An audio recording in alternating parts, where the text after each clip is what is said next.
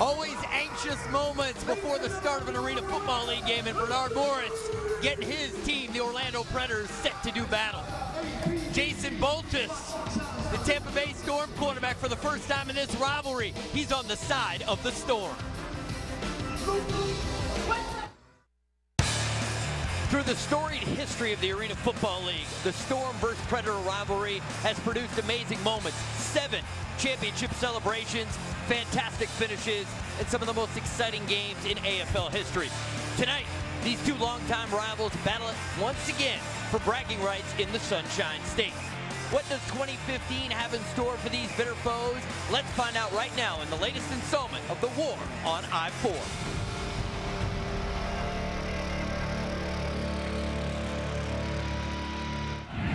A lot of excitement here in 2015. Goes and gets it. Launches to the end zone. He'll take it for six. Touchdown! They do it again!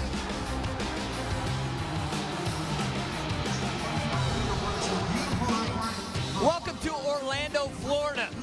A great day in Orlando. We're going inside the Amway Center as we get set for the longest standing rival rivalry in AFL history. The Tampa Bay Storm at 3 and 3 to take on the Orlando Predators who are 3 and 4 and they are long-time division rivals. And they are together in the South Division separated by just a half game. Good evening to everyone and welcome to Orlando. I'm Ari Wolf. So glad that you've joined us here on CBS Sports Network. Now, these two rivals have had plenty of players play for both franchises. What's unique is in this offseason, the two teams essentially swapped starting quarterbacks. Jason Boltus, who will start tonight for Tampa, last year started for Orlando. And Randy Hibbert switched squads, but he's out with an injury. You can see they're just 84 miles apart. This will be the 56th meeting all time. Orlando 28 wins, Tampa 27. But Tampa trumps them with five titles to two for Orlando. Now I'm joined by a friend and partner, Anthony Herron. And Anthony, let's get right to the quarterbacks. Jason Boltus has been on one side of this rivalry. Tonight, he's on the other side, and he's been playing real well for Tampa. When he was with Orlando last season, he defeated the Tampa Bay Storm twice as a starting quarterback. Now that he's in his first year as a starter with the Tampa Bay Storm, he is playing outstanding football. 35 touchdown passes, which is third in the Arena Football League. Only five interceptions, the second most efficient passer in the AFL so far this season. Playing as well as he has throughout his entire four-year career. Now the man making the start for the opposing Orlando Predators is Bernard Morris, the quarterback I like to know as the ultimate weapon. He's defeated teams from inside the pocket throughout his career where he has pinpoint accuracy on the short to intermediate throws. He most certainly knows how to read coverages, but what he can do with his legs is what makes him such an ultimate weapon. Not only first downs, but he is looking for touchdowns once he gets out in space. The ground attack for Orlando has been excellent so far this season. They always throw out the records when these two franchises get together. We cannot wait for the start of this one. The Tampa Bay Storm, the Orlando Predators, next on CBS Sports Network. Another great shot of Orlando, Florida. One of the great tourist destinations in all of America. We've certainly enjoyed our time here and want to get fired up? Take a listen to Rob Keefe. We're a team full of winners, and it's about time we act like winners. And winners do it from the start and to the finish. And they execute. They play discipline. They take care of the football. They get the football back. They celebrate. They don't get pumped. Anything we're about to do is going to be all black tonight. Anything we're going to do is going to be all black tonight. That's what we represent. We represent all black in a game that's dubbed a war. Get yourself ready for a war against a team that thinks they can just come in here and walk all over us. Ah, Ain't gonna All right, now listen up. Hey, fellas, control your emotions, right, Ricky? Control your emotions. We need everybody tonight. Everybody tonight. We're gonna play all four quarters, and we're gonna show everybody what we're all about again tonight. All right, fellas, you got something to prove. Let's go out and prove it tonight, fellas. Let's go. Break it down, man. Let's go. Do it.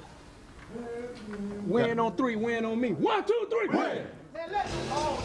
Lawrence Samuels, Hall of Famer as a player. He really likes his team. This should be fun as they renew the rivalry once again here in the 2015 season, a rivalry that began all the way back in 1991. We're just about set to kick things off. Everybody getting into their seats and getting set. And let's check in with our Hall of Famer, number 13, Seth Bonner. Thanks, Ari. Down here with Coach Keefe. Coach Keefe, you guys are 3 and 4, 1 and 0 in conference. Talk to me about this young team and their development so far. Well, last year we were the underdogs, and I think this year uh, we have a lot of high expectations, and a lot of people are coming to get us. You know, we've lost three of those four games, literally on the last play of the game, so we got to stay focused. We got to play good, diligent, hard football, but we got to play till the end. And the war on I-4 obviously speaks for itself. Talk about your second year in this rivalry. Talk about what it means to this city and this organization. Well, you know, it's the closest in proximity, uh, proximity in the, in the entire Arena Football League. It's a great war. We got to win this thing. We win tonight. We're still first in the division. This is a big game. Appreciate it, Coach. Good luck. Guys. Thank you, Sid. Rules of the game, running clock until the last minute of each half. See the dimensions of the field. No punting, no outside stunting or twisting. Ball off the rebound net is live, and one wide receiver may be in forward motion prior to the snap. We are ready to play ball. 15 minutes on the clock. We the first quarter underway. Storm won the toss. They elected to get the ball at the start of the third quarter. Craig Peterson kicks it off. And off the iron plate cleanly. Pretty good return out past the 10-yard line. Called a return of 16 yards for Brandon Tompkins. And there is Bernard Morris in his sixth year. Like his college ball at Marshall. Last year he took Orlando into the playoffs. They made it to the American Conference Championship game.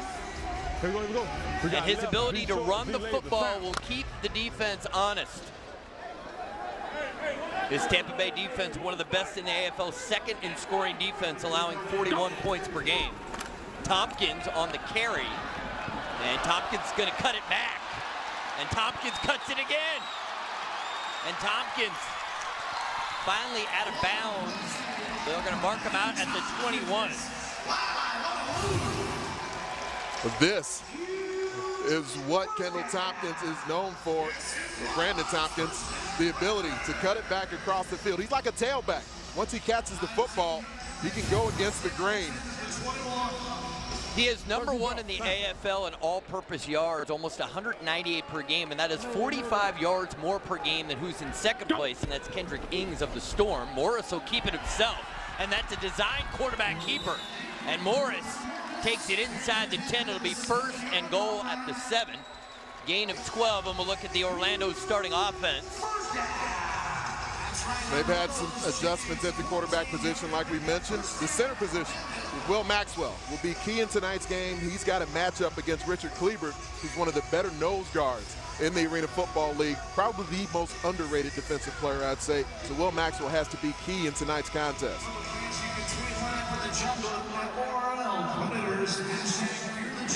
These end zone here are about as big as you're going to find in the league, but there's no back wall, so there's plenty of room to work with in the red zone as Tompkins drops that one as he knew Phillips was standing right in front of him. So we'll take a look at this Tampa Storm defense, and who are the guys that really stand out on this defense for you? They've got players who play consistently at every level, and I just referenced Richard Kleebert as, to me, one of the better noses in the Arena Football League. He's a guy at six foot, 300 pounds. He's in his fifth year. playing the NFL with the Tampa Bay Buccaneers just a couple of seasons ago. My favorite player on the defense, right there, head up over the center. Morris, he'll keep it and hit hard. Rick J. Hill comes in there to make the stop. He's second on the team in tackles. And Coach Samuel said this is a guy he's just always around the football. And he makes his presence felt here early in the first quarter. Guy that played corner in the outdoor game out of Fort Valley State, a rookie in the Arena Football League, provides some toughness, a little bit of tenacity in the Storm defense. It's played really well this season. The undefeated San Jose SaberCats season so far. They're the ones who played them closest. Orlando third down, they're best in the AFL. They convert 56% of the time. Third and goal. Morris is in trouble, and he will go down sacked back at the 13-yard line. Kleebert is there, number 93, a loss of 10 on the play. The nose position right here, that zero technique from Kleebert. He's a guy who can bring power, but after he runs you over a couple of times, he's got the ability to do what we just saw. Club and rip his way through the A gap. the quickness that he's able to explode through the A-gap with from that nose position. That's what puts the most pressure on an offense out of any other position on the field. Fourth down, they will go for it. Call it fourth and goal from the 11. Morris gets rid of it, caught! Kendall Tompkins, touchdown Predators.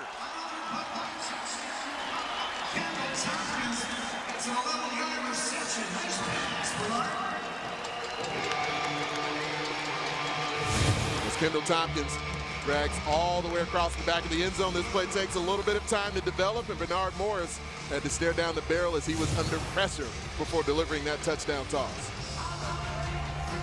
Mark Lewis on for the extra point. Longtime veteran of the AFL in his 11th year. Good snap, good hold. Kick is on the way, and it is good. Bernard Morris excelled on that drive. And here on fourth down, pressure's on. He finds Kendall Tompkins tracking across the backside of the end zone. Morris on his back celebrating. Predators lead 7 0.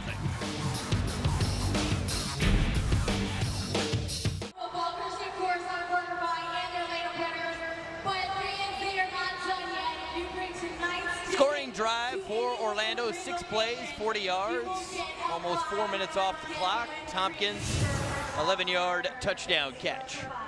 From the stationary position, you're going to see the patience necessary to be able to work all the way across the back of the end zone. Sets up with two different moves before finally in the back of the end zone, Bernard Moore is able to find him. And so to be able to do that in the red zone, you reference these bigger end zones here in Orlando. That's what allows some more space and opportunity, but the pass protection still needs to hold up just well enough. Kendrick Ings is back deep, and this guy can fly. And there's a huge seam right there. He needs one block. There goes Kendrick Ings. And he gets tripped up inside the five. That's great speed there from Emmanuel Cook to track down Ings. Ings, one of the more fun stories in the Arena Football League.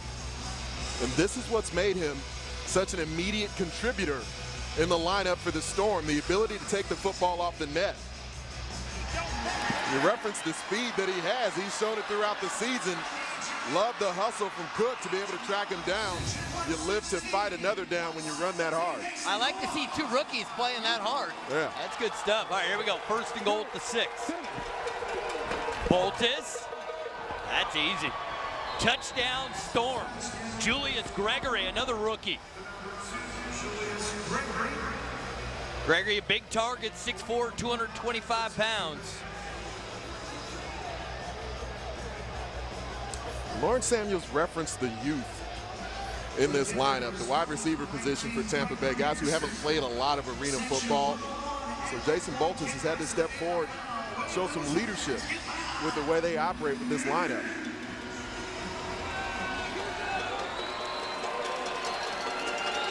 Peterson on the field for the extra point attempt. 32 of 35 on the season. And the kick is up and it is good. Well, the war on I-4 is off to a terrific start. Game deadlocked at seven. Kendrick Ings, the 51-yard kick return. He gets tracked down. And then Jason Boltus, first play from scrimmage, finds Gregory. We're coming right back to Orlando. Welcome back. A moment ago, Sergeant Jason Potts there with the owner of the Orlando Predators, Mr. Siegel. And Mr. Siegel did a wonderful gesture. He brought Mr. Potts back to see his family, a surprise for his family, and a touching moment here at the Amway Center. Just before the game began during the coin toss, he loved seeing moments like this. Sergeant Potts is over in Afghanistan. They weren't expecting him to be back for nearly two weeks. Great gesture there from Mr. Siegel and the Predators.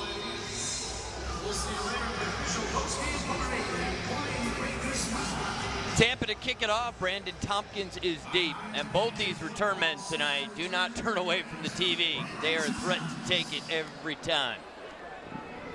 Tompkins plays it cleanly. Tompkins to dance it to the outside. He gets tripped up at the 14-yard line. 20 yards on the return. Another uh, look at Bernard Morris. who capped off his first drive with an 11-yard touchdown pass. I like our offensive coordinator, Cy Burley, called a run play in there and allow Bernard Morris just to get into not only a passing rhythm, but actually got him into just a rushing rhythm. Got him into the game as well by calling a run from Morris and threatening the defense with his legs. Go. Tack. Morris going up over the top. Tompkins has got a step but can't get to the football. The speedster who played at the University of Miami could not catch up to that one. And you you referenced the dual threat ability, and I I feel like the person that puts the most pressure on is the jack linebacker. It does because the way the Jack is able to sort of work the box both in between the tackles but then can leave the box laterally as well. He's now got an extra threat he's got to be conscious of so you won't see him as aggressive in the passing lanes. And that's number eight, Rick J. Hill, who's playing jack linebacker for the Storm. Go. Tack. Tack. Second and 10. And Morris, seemed like the timing of that play was off. It's a short completion to Lamar Brown. Do want everyone to know, earlier in the day, we expected to see the veteran receiver Larry Brackens unable to go tonight. And that changes things because he's a big part of their red zone attack. Huge part of the red zone attack and anticipated seeing him getting more full-time run as a wide receiver tonight. So for Lamar Brown, one of the rookies on the field tonight, he's got to step forward that much more. But a big target, as you mentioned, at six foot four, nearly 230 pounds. So he's got a, a Bracken-esque sort of build to him, but he doesn't know the game that well yet. Third down, and Morris too much on that throw. So fourth down coming up. They've been very good on fourth down, 58%, and on their only fourth down tonight, uh, scored an 11-yard touchdown. Of course, see both teams going for fourth downs throughout the game at various points. And the reason for that is field goals are incredibly challenging in arena football. The goalposts, instead of 18 feet wide in the outdoor game, are just 9 feet wide. Orlando's at least attempted a few. Tampa has not attempted a, a single field goal all season through six games. Tampa Bay fifth Teeny, in the Arena teeny, Football teeny, League at 38.9% on fourth down. Morris gonna run for it. Can he get there is the question. And he gets the first down. There's that dual threat capability of Bernard Morris.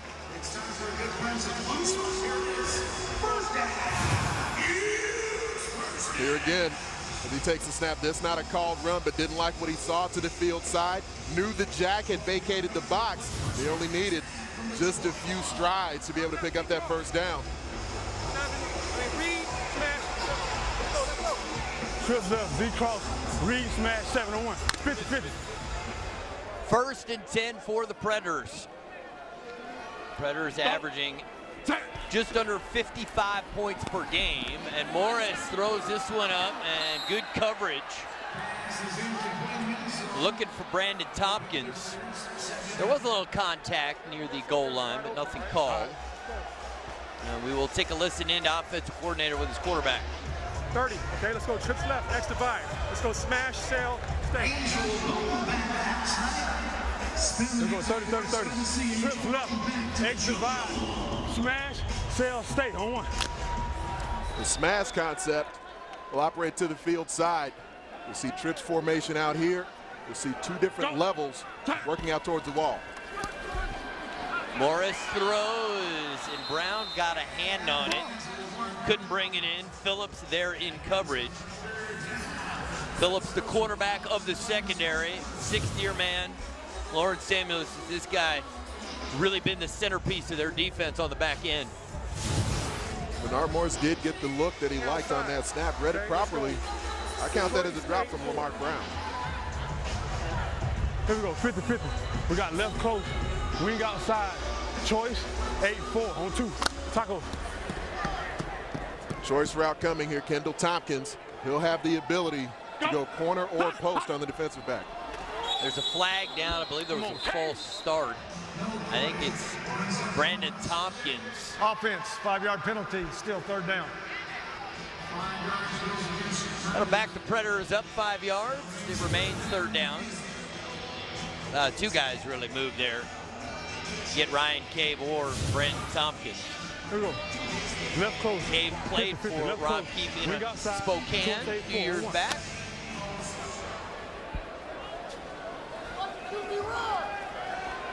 Go. Morris gets rid of it. Tompkins had his hands on it, but couldn't bring it in. Got to make that catch. And Alfred Phillips in coverage saw where it was going. So you see him here still trying to stay in man, even though the motion ends up coming all the way outside to the X position. Phillips can't keep up, but Tompkins ball bounces right off of both hands. Another drop from the Predators on this drive. Post corner. Here we go. Left wing, post corner, six, four on one. Let's go, 50. Fourth down. Go. Fourth and 15. Morris off his back foot throws it up and it's incomplete. Phillips got his hand on it and then he left the playing surface, so let's hope he's okay. And it appears he's a little slow to get up. A bunch of his teammates ran over there to see if he's okay. Understandably so. I mean, it's concrete over there. And he is up. Scary moment. You can see right there, that is not a surface you want to fall on.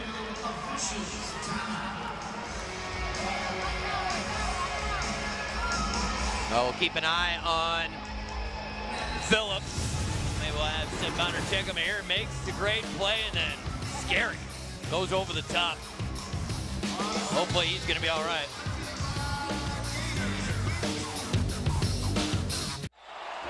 Next Saturday at 7 Eastern, CBS Sports Network brings you more Arena Football League action. We return to the Amway Center in Orlando as the Portland Thunder come to town to take on the Predators. That's right here on the 24-hour home of CBS Sports.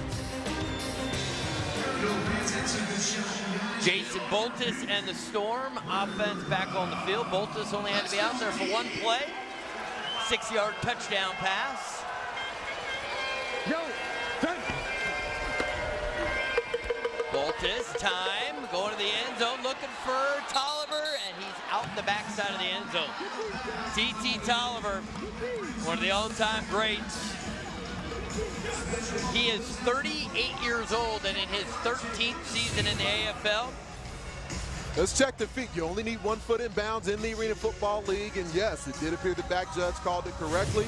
As that right foot from T.T. Tolliver tapped down, it was just beyond the back of the end zone. Two, I'm all right. 30. Trips formation here to the field side. Kendrick Ings will be in motion. Boltus gets it out very quickly. And Tolliver with the catch. His 49th of the season, gain of seven. Tolliver has played for both of these teams in the war on I-4. T.T. Tolliver's got some history in score tonight. He has a decent night. Right. Right 30. Right 32. Sail, smash, smash. I'm all right. There are the numbers for Jason Boltus. Number two in the AFL in total offense, number two in passing yards, and seventh in passing efficiency. Third and short, Boltus feels pressure, comes backside. Tolliver makes the catch. Enough for a Storm first down.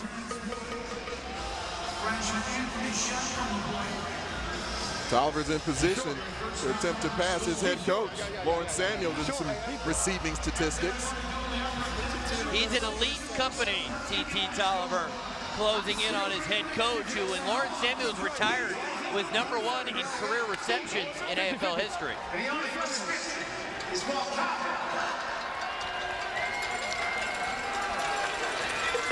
Tolliver will be in motion as the middle receiver. Boltus pump fake. Now he's going to tuck it, and he is forced out of bounds. Tonga forces him out of bounds after virtually no gain. Give him a gain of one. This offense for Tampa Bay had a few fits and starts earlier in the season because the fullback position struggled, but T.T. Tolliver has been as steady as ever so far this year. Came in tied this weekend with 16 touchdown receptions, leading the Arena Football League. And as we referenced, some of the all-time best numbers tonight, he can move up into number two in both receptions and receiving yards. Boltus. And look at the speed. T.T. Tolliver still got it. Touchdown Storm. He's still going. Now, now the flag comes in. He's trying to find the hot tub. Oh, he wants to go in the hot tub? That's funny. He may get a penalty for it, but frankly, it seemed worth it to me. Folks in Orlando having a good time. I mean, he knows all about the hot tub from his days playing in Orlando, back at the old arena. Touchdown is good after the play. Unsportsmanlike conduct number one. That penalty will be assessed on the first play after the kickoff. I noticed that Coach Samuels didn't tell TT anything as he walked by. he seemed okay with it. There's, of course, plenty of celebration allowed in the Arena Football League. Yeah, when, when is that going too far? Players not allowed to go into the stands. Okay, And so I think that's where, once you approach the hot tub, maybe that was where he crossed the line. Peterson on for the extra point. It's up and it is good. That, that drive was all about TT Tolliver. He's having some fun. One thing he's done consistently is produce numbers and produce touchdowns. TT makes the catch and says, I'm going to change directions and then I'm just going to saunter my way into the end zone. Tampa on top 14-7. And he's still celebrating. All right, just wait for it. Where's that hot Get tub? there. Go ahead. Like, I mean, Maybe I'm not going to jump in here. he made his way there. Welcome back to Orlando. We're just about set for the start of the second quarter. Tampa Bay leads by a touchdown, and they've gained a possession as a result of a defensive stop. There is Bernard Morris. He had one touchdown pass in the opening quarter.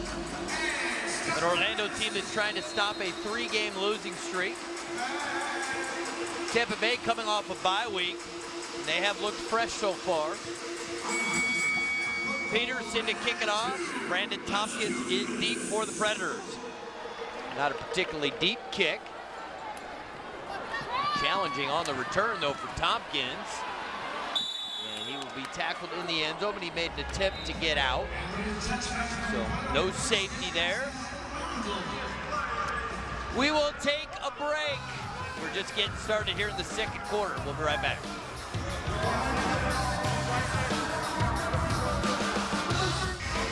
Latest news, scores, and stats, log on to arenafootball.com. Whether you want to check out special features on the league's brightest stars or watch live games via the E ESPN3 video player, arenafootball.com is where it's at. There are the numbers for Bernard Morris. Not particularly good, just two for nine, 16 yards and a touchdown. Morris, quick hitter to Tompkins. Kendall Tompkins shows that burst of speed, gets into storm territory and forced out of bounds at the 22. A quick hitter, sort of pass like that, especially when you get man coverage. You expect the other wide receivers in the lineup to block, and Lamar Brown did a great job with it. Here we go, 30-30. We got left, Z loop, sail, scissors, 1-1 on one. Sail route from the outside hash. An opportunity here to complete the corner. Go. Be a cross concept with it. Morris completes to Tompkins, who stumbles.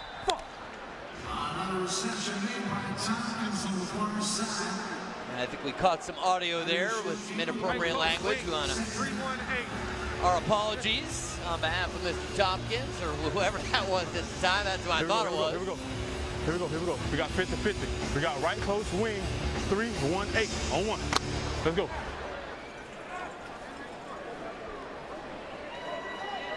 Second down for the Predators. Called second and five.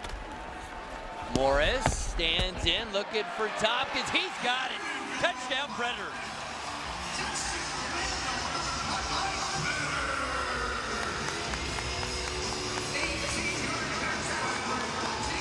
Every time the pass rush from the Tampa Bay Storm is able to heat up Bernard Morris, that seems to be when he's at his best. Ryan Giddens did a nice job turning the corner, applies the pressure with the snatch move, and Morris able to float the teardrop over to the end zone to Tompkins.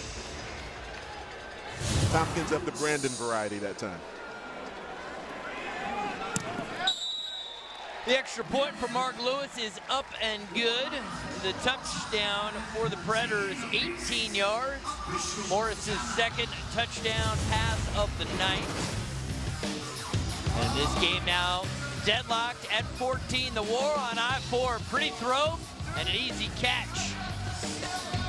And a creative little pom-pom celebration. Here's another look at the touchdown. Morris stood tall in the pocket, waited for it to develop, and Tompkins comes up with the touchdown. And Sid, let's get your thoughts on the play of Bernard Morris so far tonight. Hey, I'll do better than that, Ari. I've got BMO, Bernard Morris down here with me. Bernard, you guys struggled a little bit the second series, but you're able to get your footing back there. Talk about that drive and how that thing was able to get going. Yeah, we just had to settle the guys down. You know, just let them know that, you know, no more freebies as far as you know letting Tampa off the hook, getting fourth down. But you know, we uh, we've been we've been fighting against each other all week. You know, it's we got an opportunity with the other team in front of us right now. We just got to take advantage of our opportunities, and we caught them slipping on the backside, and uh, hopefully we can get them again. Appreciate it, BMO. Thanks. All right. Thank you, Sid. Kendrick Ings put to the ground in the end zone. Terrific coverage there. Emmanuel Cook, great hustle.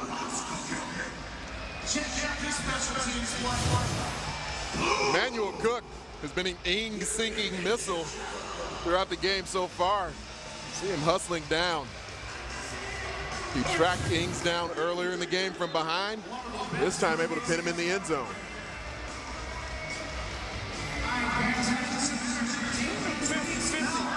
50-50,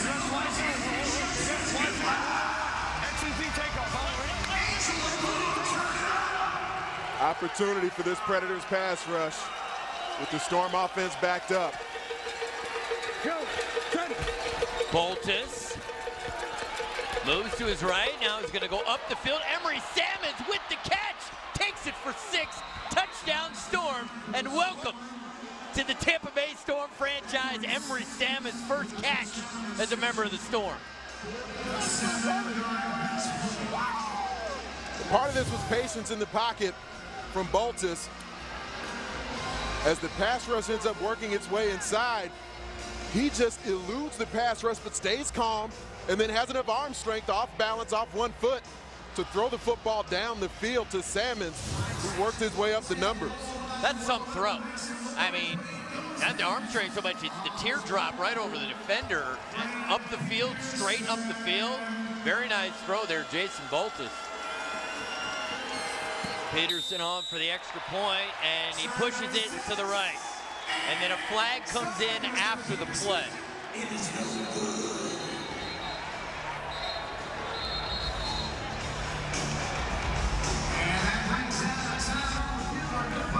Take one more look at the throw. We'll get the uh, penalty call before we go to break.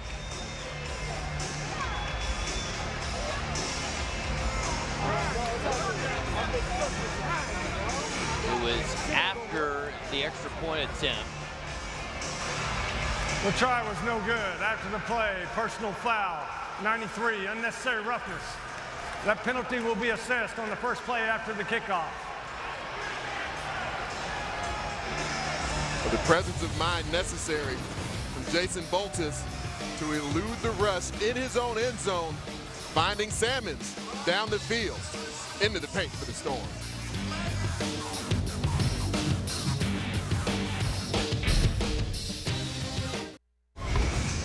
Back in 1995, the War on I-4 made it all the way to Arena Bowl 9. Orlando was in front, and then Jay Gruden leads the Storm back. He threw for four touchdowns, ran for another. They win 48-35, their third Arena Bowl title in five seasons. And they were certainly the dominant team of that era. They have won a total of five titles. You see them tied with the Arizona Rattlers. The Rattlers currently the dynasty, having won three straight titles. There was a poll on arenafootball.com this week comparing what the greatest rivalries are in the AFL, the fan favorites. War on I-4 took second to the Arizona-San Jose rivalry. It's that's a free football and bounces all the way back to the 13. Tampa's got it. Harrell's got it, and Harrell's going to step into the end zone. Do they mark him out of bounds is the question. He's in. Touchdown Storm. 13 yards on the return. Craig Peterson has been close a couple of times to getting bar balls. So we've seen that the return game for Orlando has had some problems fielding the ball. Brandon Tompkins has had to leap trying to stop the football from getting to the frame a couple of times here. Caromed with a lot of velocity off the bar. And then there, the presence of mind from Harrell not only recovered the football, but smelling the paint. He's gotten a lot of attention already this season. Was the Defensive Player of the Week after his performance against Jacksonville. Peterson on for the extra point. Extra point is good, and the kicker is down. He gets hit. We'll have to take a look here because if they lose the kicker, we've had one of these games already. It was the opener was right here, as a matter of fact. It was Orlando. Carlos Martinez got hurt for the Philadelphia Soul, and it may, when you got to go for two every time, it makes for a, an interesting night. Hopefully Peterson's okay. And off the bar ball, Peterson was in there. He was mixing it up. He was right there with his other seven teammates attempting to recover the football. See what happens on the extra point. Wow, is that late and dangerous. Get kicked right in the back of the legs. That's the danger. You got a bull rush coming off the edge. And then as the, yeah, as the pass protector, yeah. yeah, Geathers is getting slung down by the pass protector. And that's where I used to coach pass blockers, where the offensive line or the, the field goal protection, you try to snatch down in front of your body as opposed to taking his momentum and whipping him outside because that's what can happen where you whip him into the legs of the person in the pocket, usually the quarterback. In this case, it was Peterson, the kicker. And there was no malicious intent at all there. Right. Wrong place at the wrong time. This ball, as Peterson is stepping back onto the field, but it caroms right there off the goalpost. So Tompkins is in no position at all to field the football. That's where the personal protector has to play a role in it. But then Harrell, as he gets the recovery, able to work his way outside and just avoid the wall enough. See him there on the recovery.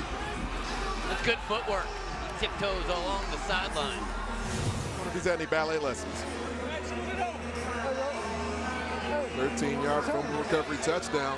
Harrell's gotten his hands on a lot of footballs this season. And that's already two extra possessions for Tampa here in the first half. In a possession-driven game, that could be the difference. Did have the defensive stop in the first quarter. So in a game when you're anticipating the offenses being able to score on the majority of their possessions, being two possessions down now for Orlando makes a huge difference. So Peterson's being called back to the bench area. I'm curious who's going to handle the kicking right now. Oh, he needed a tee. Okay, I thought he was banged up and they were bringing him back. And I thought, this ought to get interesting. well, he did require a little bit of attention on the previous snap. I mean, from a rule standpoint, this is the preceding play, or not preceding play, but this is the following play afterwards. Normally, you would have to miss a snap. I'm not sure how that affects. I, I'm not going to make something up here. I'm not completely sure about the rule as far as the special team snap goes. Apparently, he does not have to miss the next play.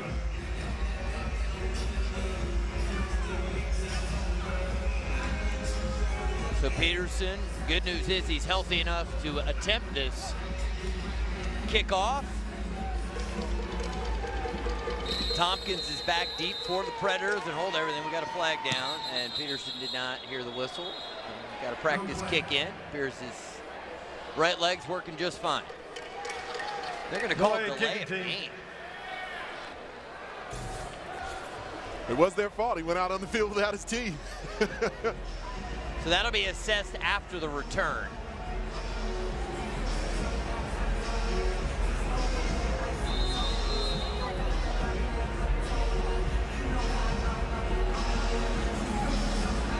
If they wanted someone to get the tee faster, they could have spent, sent one of their faster players to get it than the kicker. Maybe someone who didn't just take a, a pounding on the previous snap. Right. This one's hooking on him, hooks all the way to left. So not only will the ball go to the 20, but because of the late game, the ball will be at midfield. So his lack of hustle or somebody else not going to get the tee really hurts the Tampa Bay Storm. They have to add the five yards from the penalty as well. Better looking at James Harrell back from his performance against Jacksonville. What a night he had. Four tackles, three passes defended, an interception, a fumble recovery, and a net recovery for a touchdown in Tampa Bay's 63-28 victory. He was the MVP of the week for his outstanding play. And there he is. There's really no more awards available for a strictly defensive player to win.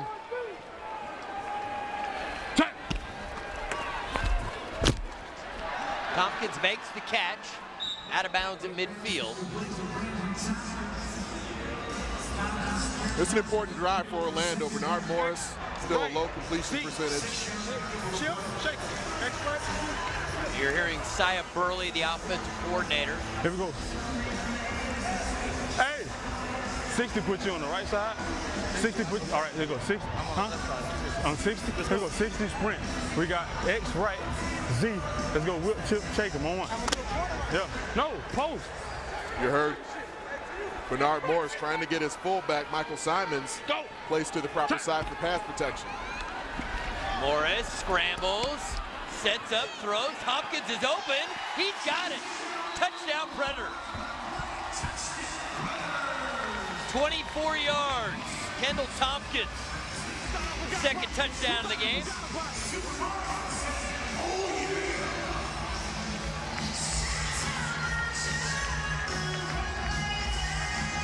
By formation, when you put the strength into the boundary, it can confuse the defense a bit. The Predators offense didn't seem completely certain about the snap either. As Bernard Morris rolled to the field side, he was able to look back and find Tompkins. Lewis's extra point is up and it is good. So now a six-point game. Tampa 27, Orlando 21. Another look at the touchdown. Morris, touch pass. Tompkins wide open for the score. And Morris heads down to celebrate with his teammates. You're watching the Arena Football League on CBS Sports Network.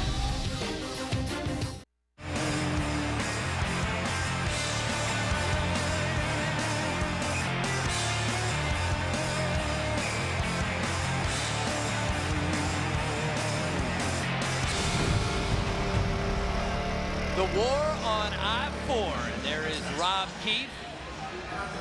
Rob Keefe won an Arena Bowl title as a head coach, won one as a player as well. And there's Lawrence Samuels, who was a part of three Arena Bowl titles as a player.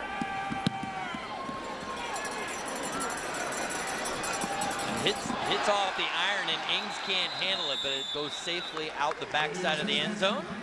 Be sure to check out arenafootball.com for all the latest news and information on the Arena Football League while you're there. Be sure to shop the AFL Team Fan Shop for the latest team gear. Check out arenafootball.com today.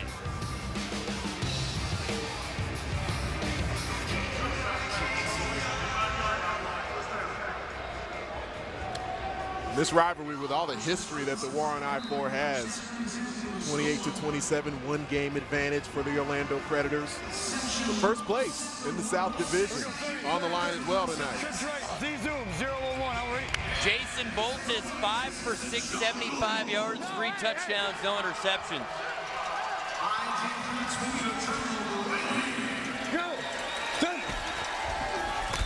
Boltus, two receivers in the area, and smart play there by Ings. He said, that's not for me. Let that go to Julius Gregory. 11 yards on the play. Let's bring in Sid. What do you think so far of Boltus' play here in the first half? He seems very relaxed. He's very comfortable doing what he's doing. A lot different than a year ago, where at times he seemed rattled during games. Right now, he's very focused, comfortable. He understands the offense. It looks like he's operating at a high level right now. Just one incompletion so far. And Boltus, he had people at his feet, goes down, incomplete pass. Calvin Vance has always been a versatile player throughout his AFL career. He's a guy who can rush off the edge, has even been used on the nose. Here, from the MAC linebacker position, rushing downhill through the A gap. Just a nice outside club move. Just working over the fullback, Chris Jamison. Jamison, a guy that's more comfortable protecting within the A gaps than he is in slide protection outside. Didn't have the proper spacing there between himself and the center. Left him on an island.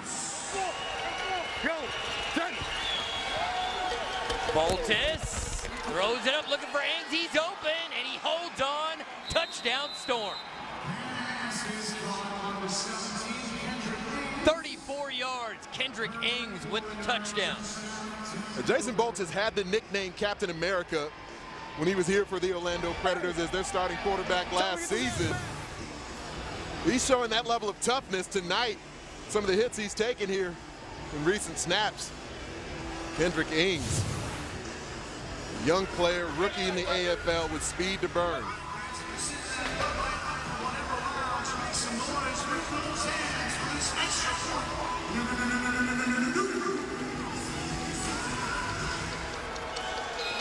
Flag, hold everything. That extra point. Pretend like it never happened. Looked like someone almost attempted to catch Greg Peterson off guard there. He still made it. It won't count. I appreciate his effort. Especially considering the last time he got hit. yeah. Delay, kicking team, five-yard penalty, still a try. Very impressed with Jason Boltus here in the first half. He showed a variety of throws here. Really displayed that he can throw the touch pass. He's not scared to stay in the pocket. Like Zed said, it, it, this guy looks like he's really matured. It's interesting. The opposing quarterback who would have been starting tonight, Randy Hippeard, who's out with an injury right now. Hippeard's expected back. Coach Rob Keefe said maybe in two to four weeks. But these two QBs were the two most efficient in the AFL. Obviously, Boltus is still up there at the second spot. Extra point is good. And when there's a penalty there, that, that longer extra point is no uh, no gimme by any stretch of the imagination. You see Ings as he works up the field, ends up running towards the corner, threatens the middle defensive back enough where it gives him that space towards the corner. And Boltus knows he has to stand in the pocket. He's got that arm strength. He's a guy with a lot of physical tools now in his fourth year, really learning the game of arena football. Let's send it to Sid Bonner. He's there with Jason. Hey, thanks, Art. thanks, Art. Hey, TT Tolliver, excited about this rivalry. Talk about coming in here, playing with these veteran guys. How comfortable are you in this offense right now? Yeah, we're doing a lot of good things right now. We got to keep executing. It's a long game. Still got another five minutes to change in the second half to play, but um, right now we're executing on all cylinders. Got to keep it up. Coming in with Coach Lawrence, you know, how is the playbook for you? When did you get into it? And making that decision from, to go from Orlando down to Tampa, I mean, were you diligent about it, or was it just something that just rolled naturally? Oh yeah, um, I, he's a Hall of Famer like yourself, and he uh, he's done it on the field and, and, off the field. So I know he's put together great schemes. And uh, obviously, I played with TJ up in Orlando for a year, and you know, kind of communicated in the offseason, brought me down to Tampa with him, and here I am. Appreciate it, JB. Thanks. Thank you. Ari. Thank you, Sid. Good track record for Boltus even coming out of college. 134 touchdown passes for him at Hartwick University. Brandon Tompkins on the return, and he is brought down at the eight-yard line. Earlier in his career, Jason Boltus was thought of as a player who needed to use his athleticism to run outside the pocket to pick up first downs with his legs. This season, we've seen the most mature version of Boltus with the way he's able to dissect coverages from within the pocket. And now Bernard Morris in a position where this Predators offense needs to answer. Plenty of time to go here in the second quarter. Go. Check.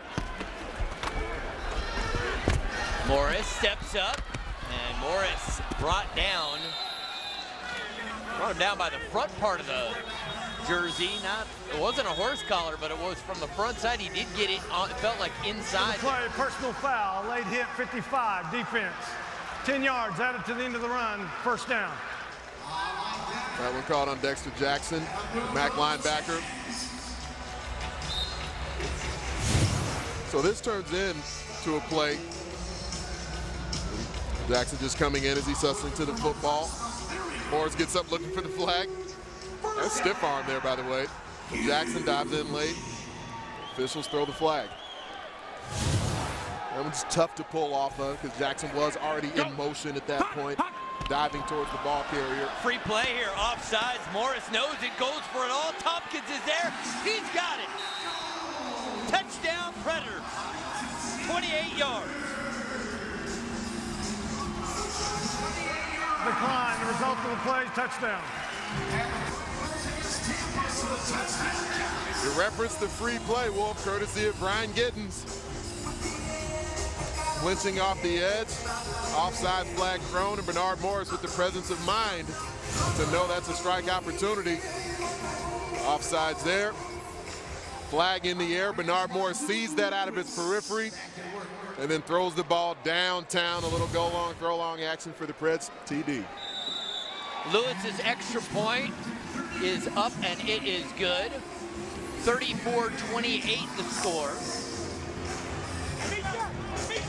As we continue to move here in the second quarter, as it winds down, we have to keep in mind that Tampa will get the football at the start of the third quarter, so that could play into the strategy late in the half.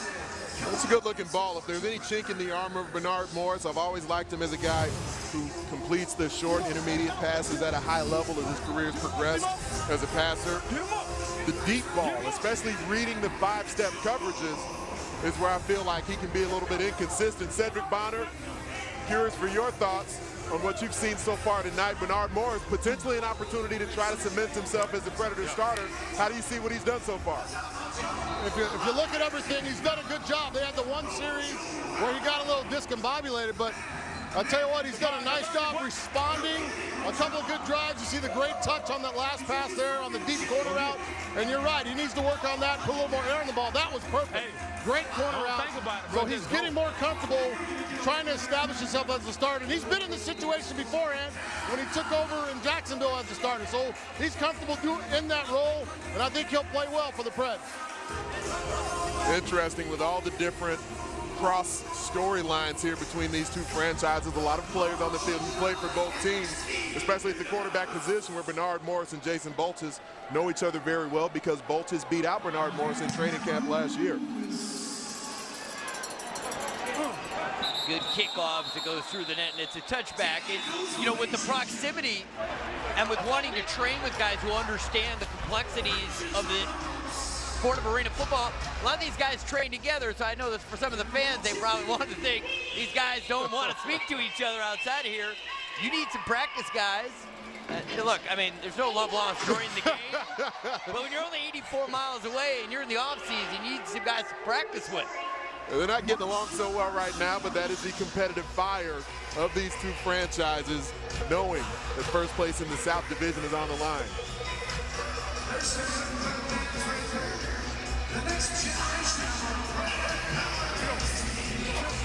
First and 10 for the Storm from their own five-yard line.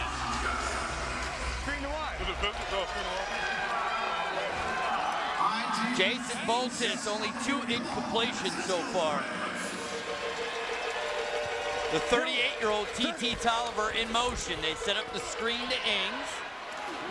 And a nice job by Orlando defensively. Just a gain of four on first down. It's a young Predator secondary, Ari.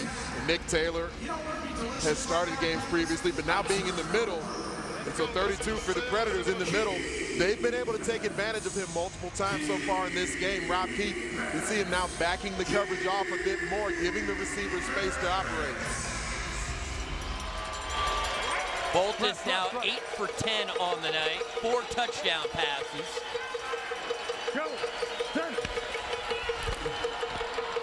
Gregory makes the catch. You know, Gregory had a statement game before the bye week, and he's come and delivered again here in the first half. He's got impressive physical tools. Lawrence Samuel said that he thinks Gregory's got a really high ceiling, not just with his physical stature, but with his ability to catch the football we saw there, willing to catch it away from his frame within traffic. Range right. X. Dig one nine already. And the one thing that I think teams may have to fear for both these franchises, they have a lot of rookies playing. These teams are bound to get better as the season goes on. Big Route has a great opportunity to be open here against Taylor. Boltus looking for Tolliver on time. Tolliver out of bounds at the 12. T.T. Tolliver.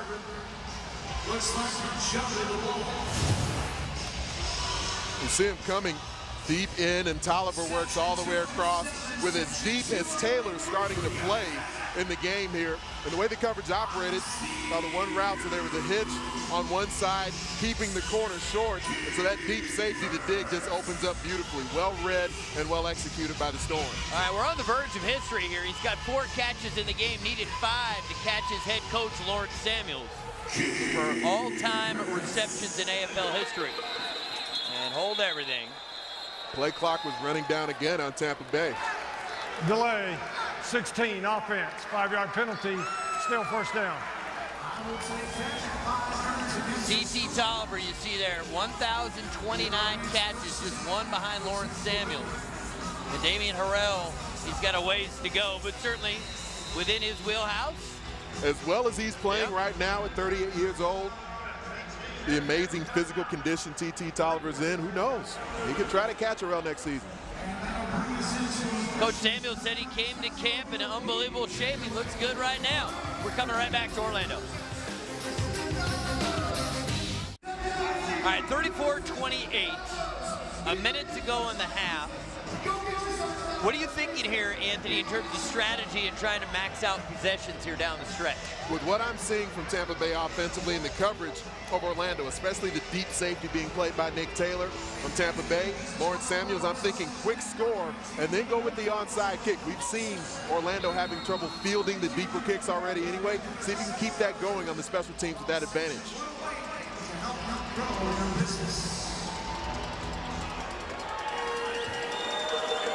Both teams have all three timeouts remaining. Taylor tightening up a bit now.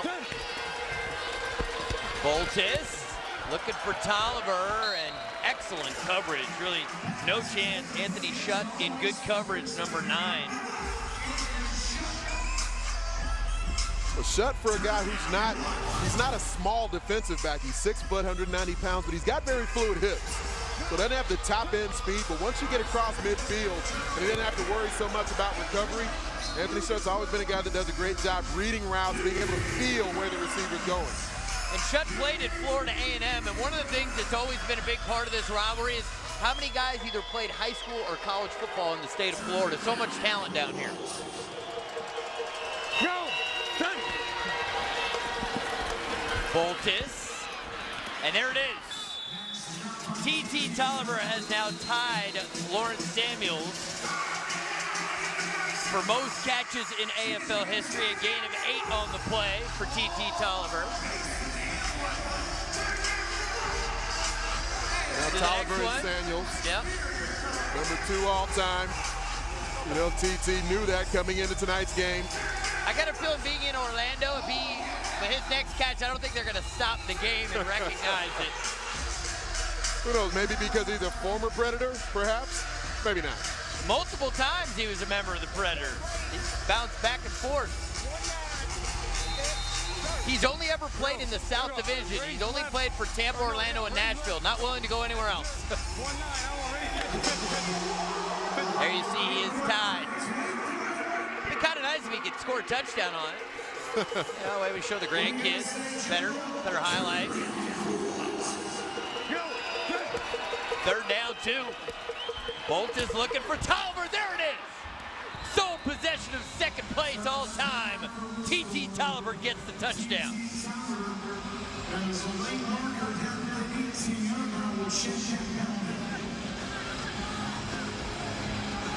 Samuels is upset. I think he thinks that his quarterback got hit late.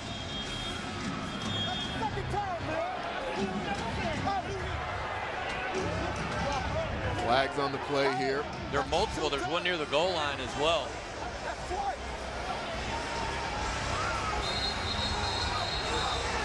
Oh, Rob Keefe and T.T. Tolliver are getting into it. I've known Rob Keefe a long time. He can talk a lot. I'm just not sure he has the level of trash talking that TT Tolliver has after 13 years in the AFL. Looks like Joe Peace has got a lot to figure out. There are two fouls on the play. Personal foul, roughing the passer, number 90. Unsportsmanlike conduct, one. Those fouls will offset the touchdown counts. And look at Lawrence Samuels saying, hey, let me get that football from my guy. Number two all time. That's a thoughtful coach. And he's got two unsportsmanlike penalties in the first half, and coach is still looking out for him. Well, and you respect the fact that it's actually himself yes. who TT Toliver passed as well. Extra point is up, and it is good. Now 41 to 28. Multiple penalties on that previous snap, as we referenced. Called the late hit on Boltus. Hit here in the pocket, rushing off the edge. He does take a big shot there very late.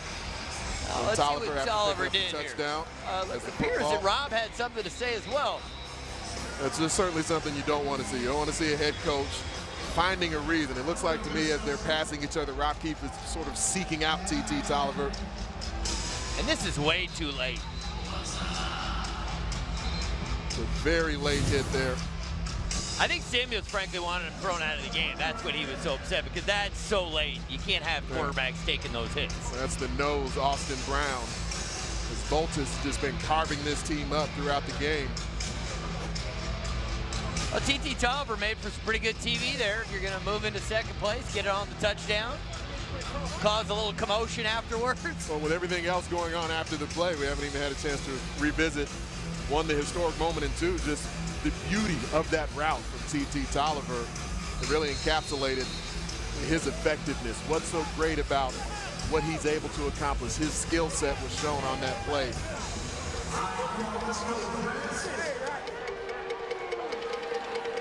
Peterson to kick it off.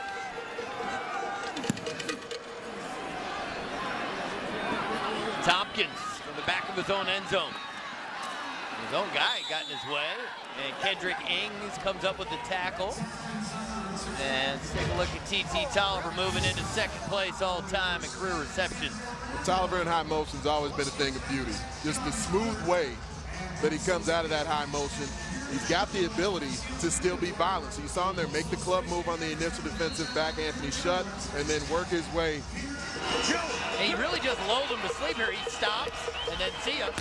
That's who he's always been. There's a smooth nature to the way that TT Toliver comes in high motion, but he's still got the ability to be quick, concise, and explosive when necessary. Orlando, plenty of time to work with, plus they've got their timeout.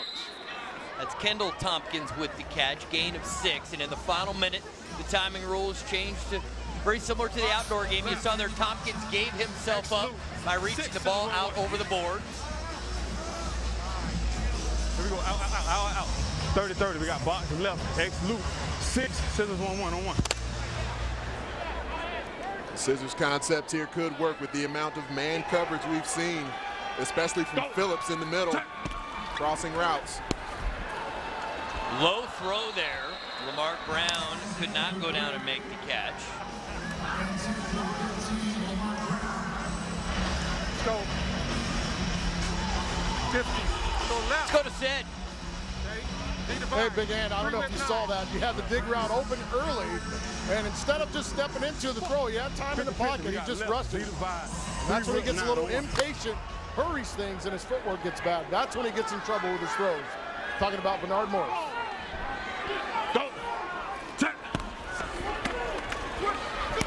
Morris delivers. Brandon Tompkins the catch, breaks the tackle, and brought down at the 12-yard line. 22 down, the clock's still ticking. If you're Orlando, you got to leave yourself some time to get in here. The Predators have two timeouts available. I'm surprised they didn't use it there with this game situation and two timeouts. I mean, there were 22 seconds when he was down. They let eight seconds come off. I mean, you're on the 12-yard line. You're obviously within striking distance of the end zone, but if you want to be able to make those decisions yourself. How much time you have remaining as opposed to letting the clock continue to tick down. Yeah. yeah. Here we go, 50, 50, 50. We got right, X inside, bang, Poco, one on two. Taco, Taco. No Greg Carr in the lineup, no Larry Brackens in the lineup. Poco now being run with a rookie receiver in Lamar Brown. Does he have a feel for it? Morris throws. Too much on it.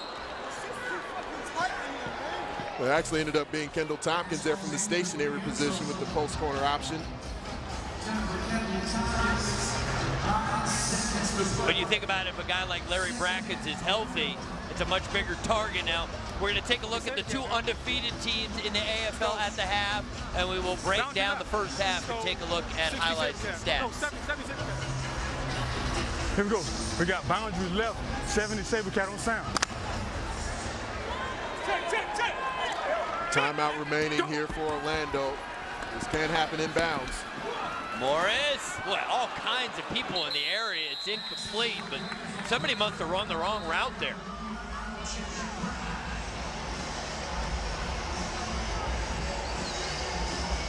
There were four or five guys in the same area. Pass interference, 10, offense. That's on Julian Williams. Calling it offensively as Williams came out of his stance, worked beyond five yards up the field, and got into a blocking position. You need to sell it far better than that. Now, this goes back to them not using the timeout now, Anthony. Now you're down to four seconds. It says down there just behind the offense, so now we see Cy Burley, the offensive coordinator.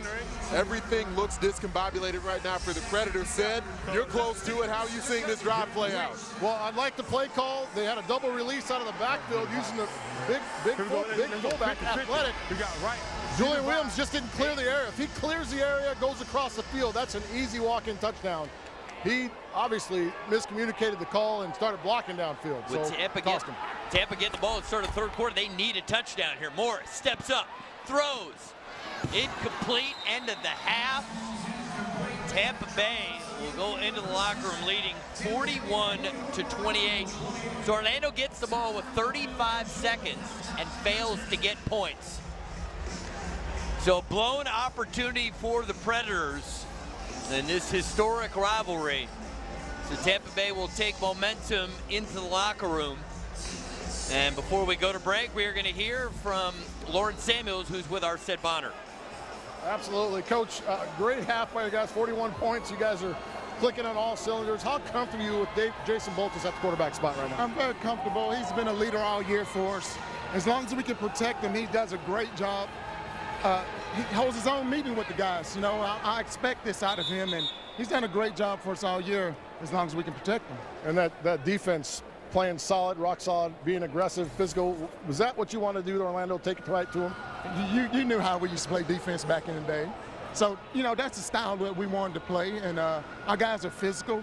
Uh, you know, they're, they're, just, they're just hungry, and they want to play good, and they, they got something to prove because everybody thinks they're too young. Okay, real quick, TT Toliver breaks your record. Give me something on that. Records are made to be broken, baby. Appreciate it, Coach. Thanks, guys. Uh, Coach Samuel's always a class act, and he actually went out of his way to get the football to give to TT Toliver in recognition of now being number two all-time in the AFL in career receptions. Well, very entertaining first half. Tampa leads 41-28.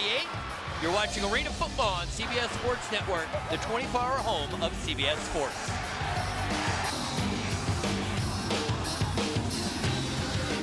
Can't just take it, boys. You can't take it. Either we're physical or we're not.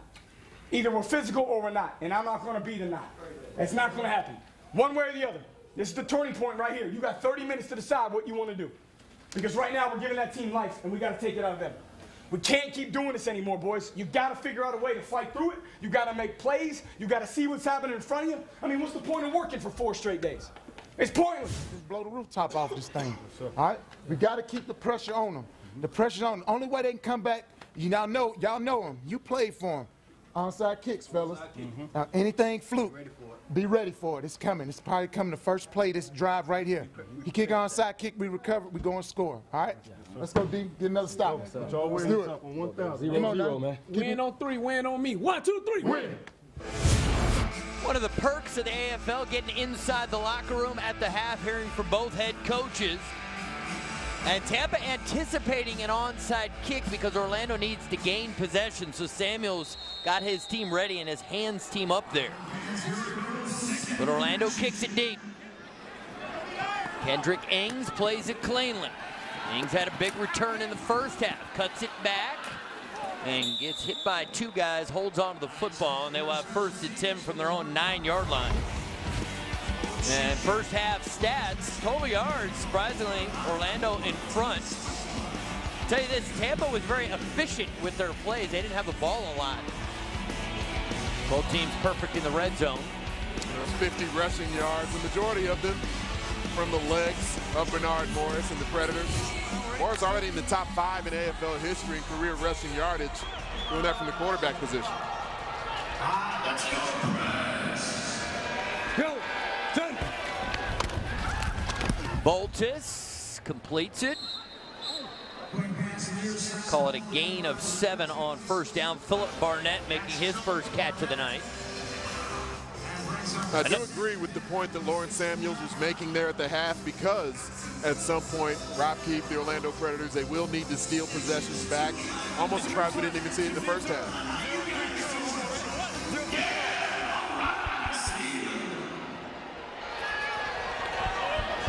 Second down. Barnett will be in motion. Boltus hit on the throw, and it results in just his fourth incompletion of the night. Jason Boltus has always been willing to take that kind of contact, even when you look back to earlier in his career, maybe with the Spokane Shock, the Utah Blaze. I mean, just recent years, as we mentioned, being the Orlando Predators quarterback last season, he's always shown a toughness in the lineup. We go wide two, four, one, one, on three, on three, on three, 30, 30, on three, on three. Let's see if they can pick up some cheap yardage here going on three, not just two, Wolf, going on three. And it did appear that they got Austin Brown to jump. Offsides, defense, contact. Five-yard penalty. Results in a first down. And Big Ant, one thing here that makes it a little trickier for the quarterback is having that receiver in motion because you can't take as much time as you might if you go on three as you could in the outdoor game. Right, you can't have that patience in the cadence to sell that second hard count as hard. Austin Brown is a talented pass rusher. We did see him with the late hit there in the first half. He's a very nimble player from the nose. Boltus looking for Sammons. It's underthrown and almost picked off. Nick Taylor had a chance, and Orlando needs extra possessions. Taylor playing in the middle tonight. They're making a change in the secondary. It's a secondary that Rob Keefe said, look, we only have two interceptions. We need guys out there to make plays. There's an opportunity missed here from Taylor. He got very physical with Sammons as the ball was in flight, but at the moment of truth, after he won the battle to get to the football after some jostling there, not able to come up with the grab.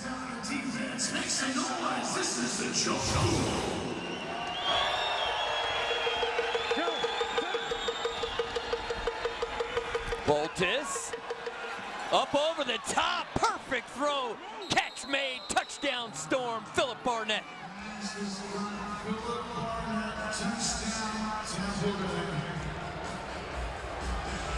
Philip Barnett, who played his football at Toledo, another rookie in the lineup for the Tampa Bay Storm.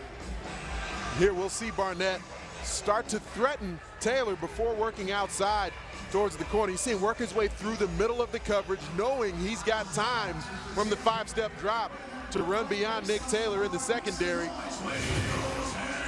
And I also like the trust that Bolt has had because he had to let that thing go long before Barnett got to the spot. Peterson's extra point is good, and Jason Boltus continues to put together a magnificent night. 198 yards passing, six touchdowns, and just five incompletions. This might be his best throw of the night. Right on time, and the Storm increased their lead to 48-28.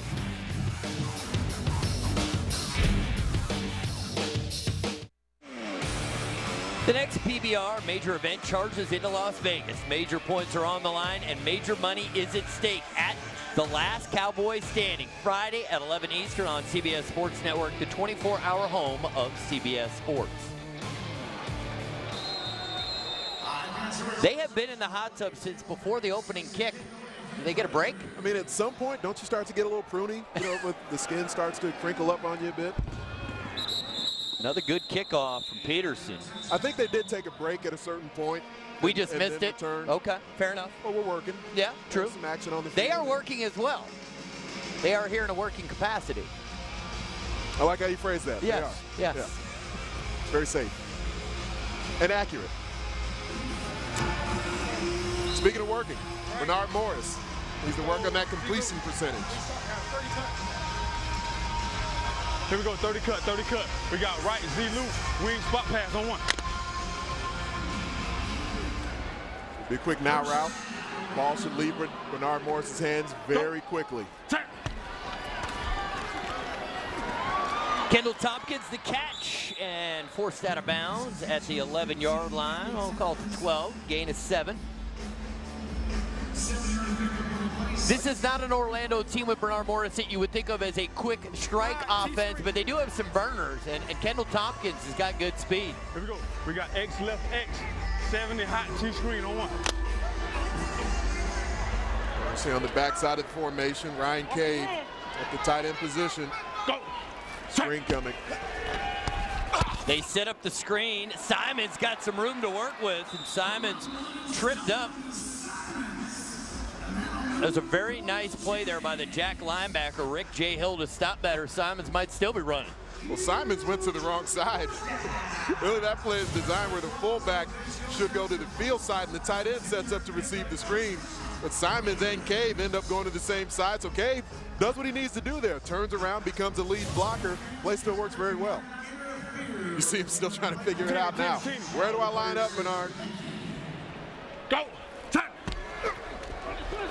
Morris, pressure's coming, and Morris goes down. He had no chance. Everett Dawkins comes off the edge.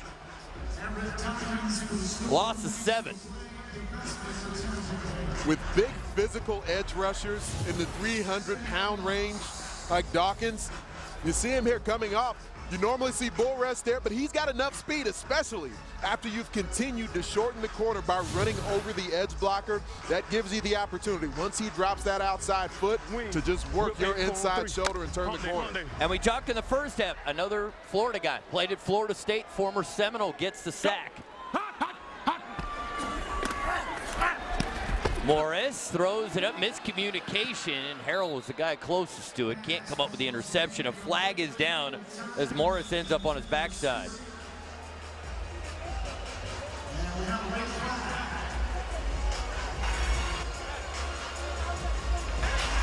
Personal foul, roughing the passer, 55. 10-yard penalty, first down. We've certainly seen throughout the AFL career as Dexter Jackson coming there from the MAC. It really ends up. Come on, you were a former defensive lineman. Is that really roughing the passer? It wouldn't have been when I was playing. That was pretty now, what they, close. Now, what I'm guessing Joe Peaster ends up throwing the flag is that after Jackson has Morris in his grasp, he takes a couple of extra steps and finishes him off. Uh, they knew the screen was coming, so Morris is going to take off and run with it. And Morris, great footwork, picks up a first down for the Predators. The difficulty for a pass rusher in that situation, what we saw in the previous snap with Jackson, is that his head's already down. So ball may be gone. He's taking those extra steps, finishing the QB, not really knowing whether or not the ball's gone on that. Sid you were down there. You were right behind the snap. How'd you see it? I could have probably played a lot longer if I would have got a couple of those calls. I mean, that, that, didn't look late to me. It was mm, questionable call, but like I said, I would have played a lot longer had I got a few of those. Bernard Morris. That's good defense. Throw wasn't far enough out in front of the receiver, and Phillips makes another play. Came into the game second in the league in passes defended. He's had an excellent night. Well, he's the reason that Tampa Bay's been able to play more man coverage this season. He's able to play downhill towards the football. He sees it very well in flight, and he's aggressive towards it. We've seen him be aggressive with the ball in flight. We've also seen him be aggressive even on those short pop passes and now routes, trying to make plays at the line of scrimmage and in the backfield. Morris gets it out quickly. Lamar Brown makes one guy miss and brought down inside the 10. Call it third and four. Those are the passes the Predators can't afford to miss, and we've seen them be more effective with those passes on this drive. Quick hitch routes, stack routes. Bernard Morris has to be accurate and on time. Receivers can't drop the ball. Here we go. X right. Z divide. 16 kick out. Z crack. On. So as Brandon Tompkins motions to trips, he'll end up becoming a blocker.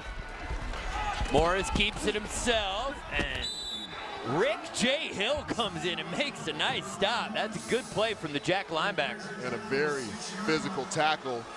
We've got the quarterback mic'd up. You can even hear Bernard Morris get the wind knocked out of him as he goes down to the ground. Let's take a listen to it.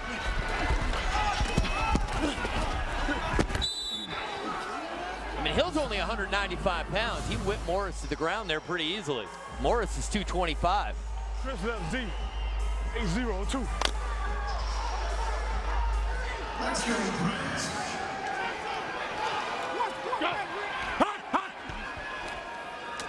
Morris on fourth down, almost picked off.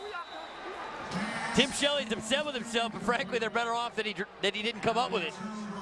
Better field position. So Orlando cannot come up with the score. Tampa leads by 20, and they will get the football back as their defense does it again. Comes up with the stop.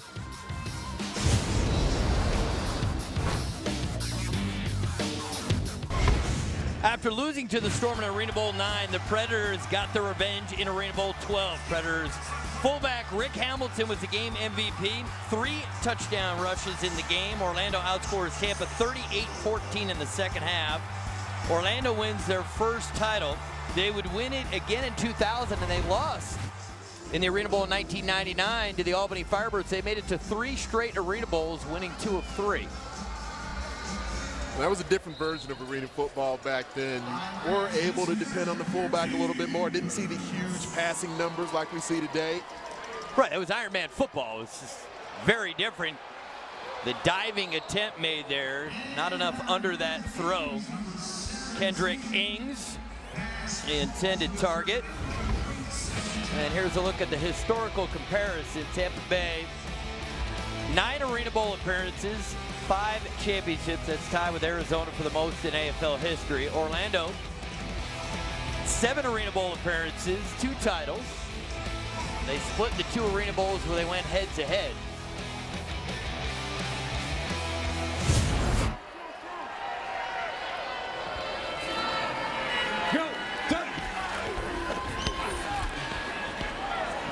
Boltus looking for Salmons, and it appeared he mistimed his jump. It wasn't a real accurate throw, but Salmons just couldn't time it right. Salmons just coming over this week in a trade from Philadelphia. Ball floating outside the numbers. Salmons just couldn't quite get up in the air high enough, like you referenced. Maybe if he jumps a bit later, he's got a better shot at it. Four, on three, on three, ready? 50, 50, 50. I mean, he's 31. Maybe he felt like he's 25, and, you know, he could just hang in the air a little bit longer.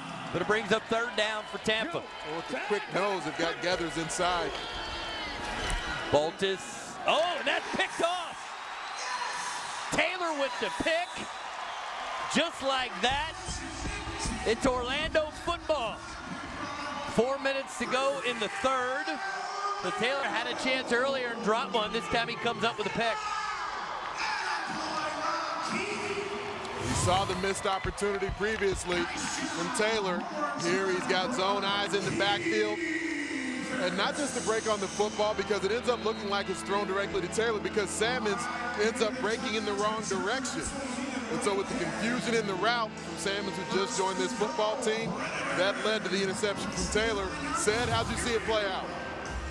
You're exactly right, Big Ant. Bad throw, but that started on first down. He had a wide open receiver, missed him on a big play to go, cut the throat there early. Incomplete in the corner of the end zone. Kendall Tompkins, the intended target. And said you were referencing the footwork of Bernard Morris earlier in the game. Have you seen that progress at all in the contest, or as the pass rush has stayed on him, has he continued to look erratic to you? Well, when, once he settled in a little bit, he got a little time to throw the football.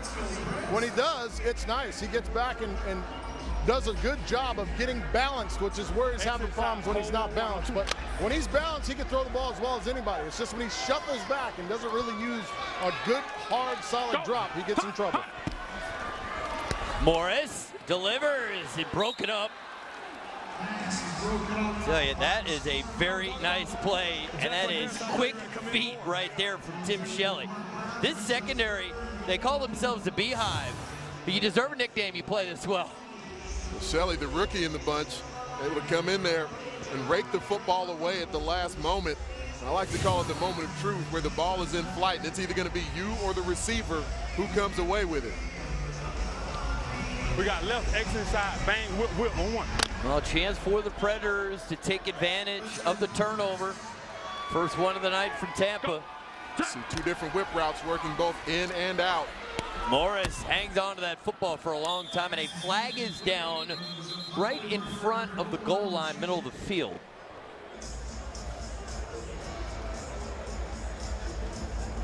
Orlando's indicating it's against Tampa. Illegal defense, number 93 with the twist. It's half the distance to the goal, automatic first down. We'll call it uh, Richard Kleber as the nose guard. You know, on the interior, you have to rush between the two A gaps. When the MAC linebacker ends up coming downhill, that forces Kleber to end up bouncing outside because you have three different pass rushers who run into each other. The nose is not allowed to end up rushing outside the defensive end. Go!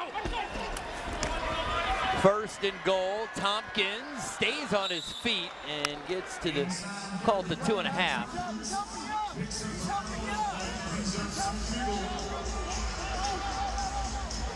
The red zone is where Bernard Morris last week struggled a bit against the Philadelphia Soul. They're using the running ability. We saw Tompkins earlier in the game showing those tailback type skills. That wasn't in the red zone, but this is where they do like to run that weak side lead play with him. Well, the game has changed the modern era with guys being one-way guys instead of Ironman. I'll tell you this, Tampa is playing so physical defensively. It reminds me of their old teams.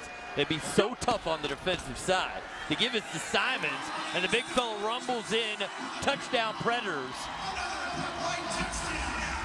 Simons' third rushing touchdown of the season. It was a fantastic block on the front side of this play from a former Oakland Raider, Carl Latson. Number 78 from the Preds, all 335 pounds of him. He made it very light work for Michael Simons to get into the end zone on that run. Two-yard touchdown run. Extra point, no good.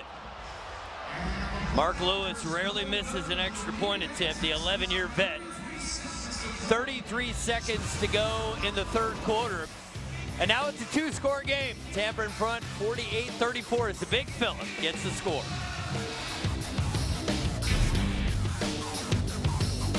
Want access to every AFL game at once? Go to arenafootball.com and click AFL Live for an online broadcast of games around the league via the ESPN3 video player. Or if you're on the go, download the Watch ESPN app to your mobile device and keep up with AFL action as it happens. And tonight, a very busy night in the AFL. This would be the kind of night where you need so you can catch up with all the games. A lot of West Coast action tonight after this one. I think it's onside time for Orlando.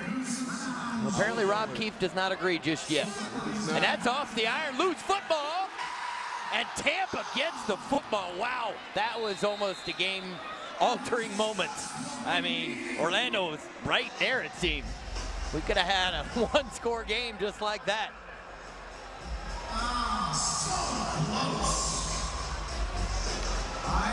We'll step away for a moment. We'll come back and conclude the third quarter, but Tampa dodges one here as Orlando had a chance at it. The Storm get the recovery. and We'll have the football when we come back. Mark Lewis, known as one of the kickers around the Arena Football League with the widest variety of onside. Here, able to get the bar ball off the deeper kick. Missed opportunity again for the Orlando Predators. To recover in the end zone. I mean, Emmanuel Cook's got a beat on this thing right here. Philip Barnett just snatches the football there at the last moment before the rest of the oncoming Preds. That was better than an onside kick. I almost gave him a touchdown. Now they did get a stop the last time. Jason Boltus threw an interception. And so Orlando will take a little bit of momentum into the fourth quarter. Still trailing by two touchdowns. The war on I-4, the 56th meeting all time. Orlando, 28 wins. Tampa, 27 wins.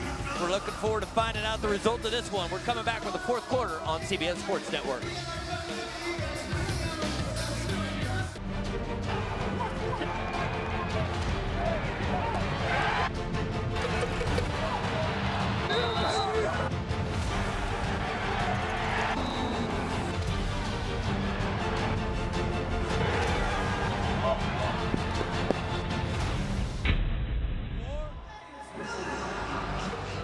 The War on I-4, the 56th edition. There's Lawrence Samuels, who played in many, many of these games, and Rob Keefe, still fairly new to this rivalry, second year as head coach of the Orlando Predators.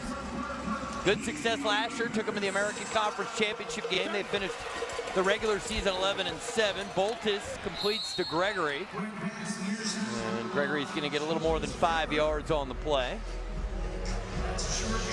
I mentioned it earlier, but the youth combined with the veterans at Tampa, if they could stay healthy, you think this team's bound to get better as the season goes on, as the rookies learn the nuances of the arena game. We heard Lawrence Samuels continue to talk about that during the pregame today. He named so many of the younger players and feeling like his ceiling is high. He's continuing to get better. He's not playing his best football yet. Gregory makes the catch and holds on, even though there was a good hit that time, came in from Emmanuel Cook. Gain of six and a first down for Tampa. But one of the things I, I sense from Coach Samuels is the expectations are so high for the fans in Tampa that I think he was kind of wants them all to be like, relax. It's an 18-game regular season. I know what I'm doing. Because, you know, early in the season they had some stumbles, but it's all about how you're playing at the end. X go X backside. We go 3 9 X8 down. Ready 50. Left 50. Left 50. Hurry up. Hurry up. Another scenario where the clock running down on Tampa Bay as they break the huddle. Hurry up. Go. Set. Boltus completes it. That's TT Toliver. Makes the catch. And Lawrence Samuels had a storied playing career. 16 years as a player. Four-time All-Ironman selection. He's now third all-time in receptions. His player TT Toliver passed tonight. Seventh all-time in receiving yards. And one of his Arena Bowl wins, he had three of them, MVP and the Ironman in Arena Bowl 17. And he was a class act. And you know, they had played with such big-time stars. He didn't get a ton of recognition for most of his career. It was only towards the end that I think people appreciated how good he was. Boltus moving and not an accurate throw looking for TT Toliver. It's interesting when you think about those similarities between Lawrence Samuels and the player who passed him tonight, TT Toliver, because Toliver hasn't usually been the number one target for the majority of the teams he's played with throughout his storied AFL career. A guy who's likely a future Hall of Famer in Toliver at this point. You look at the numbers he's put up, but you know, not all the championship teams for Arena Bowls over the years, and, and not a player who's always been that top target when you're looking at the teams he's played for, in Nashville, Tampa, Orlando. Lawrence Samuels was a part of a lot more winning thus far. Now Toliver's not done just yet. There he is, TT Toliver on cue. Touchdown Storm.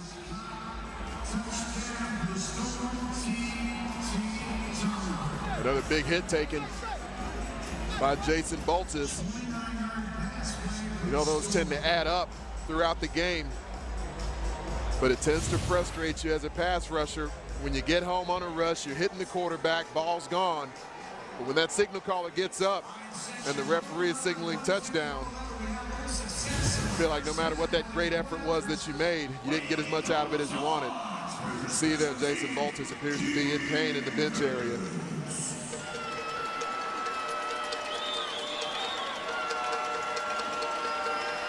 Peterson's extra point is up and it is good. The Storm have reestablished a three-score lead, 55-34. Still enough time for Orlando to mount a comeback. More than 11 minutes to go, but Jason Boltus has been the star tonight. And he finds one of the greats of all time, T.T. Toliver, for the score.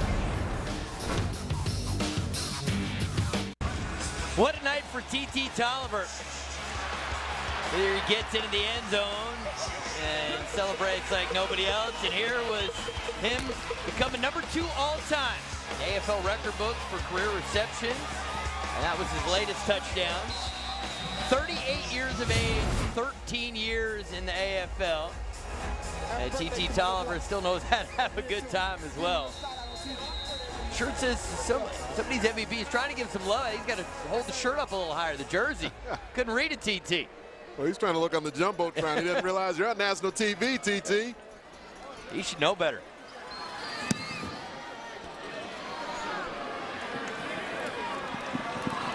Brandon Tompkins on the return, and Peterson gets in on the tackle, and a flag comes in. Ball comes out. Peterson thought he had a fumble recovery. There are the numbers for TT Toliver. Amongst active players, he is number one in career receptions, receiving yards, and receiving touchdowns.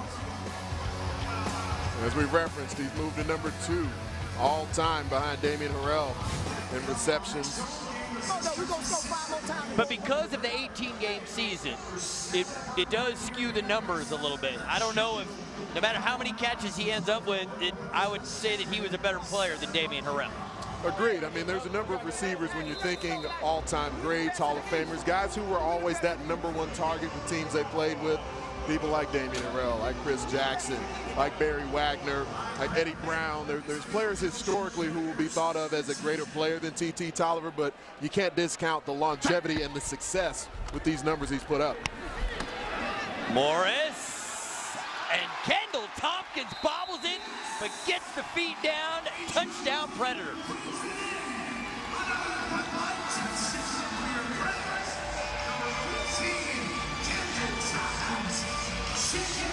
Predators passing game has laid in the weeds throughout a lot of the game tonight. Completion percentage still low for Bernard Morris. They've missed some strike opportunities. But here, as Tompkins able to again work towards the corner, double catches the ball, unfortunately not worth 12 points for the Preds. Extra point, no good. The difference is 15 points, so it's still a two-score game. But Orlando would need to have one two-point conversion. We will step away. A little more than 10 minutes remaining in the fourth. And it's a great concentration here. The bobble and the catch for the touchdown.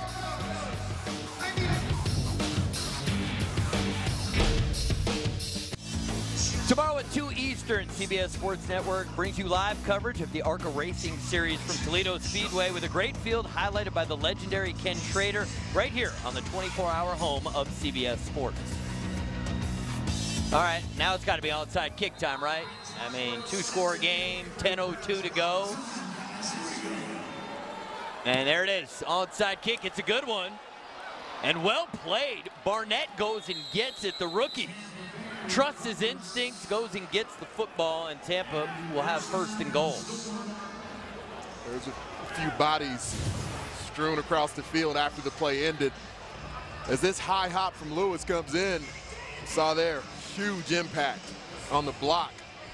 Right there from the front line. That's the job of the front line. Get a block, make sure the ball guy, as we call him, has an opportunity to field it cleanly. That very well executed from Tampa Bay. Boltus on the night, 18 for 27, 243 yards, seven touchdowns, and one interception.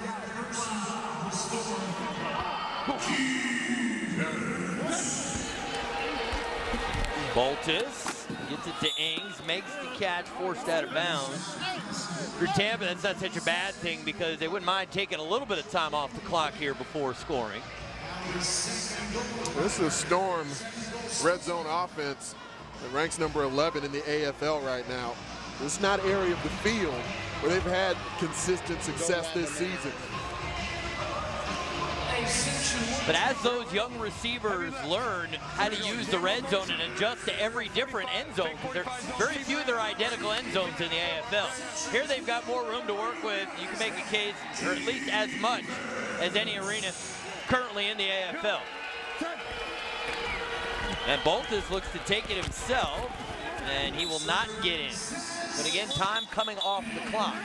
And then they get into it a little bit with Jason Boltus. That's Emmanuel Cook. He's a rookie, so they were not teammates together last year.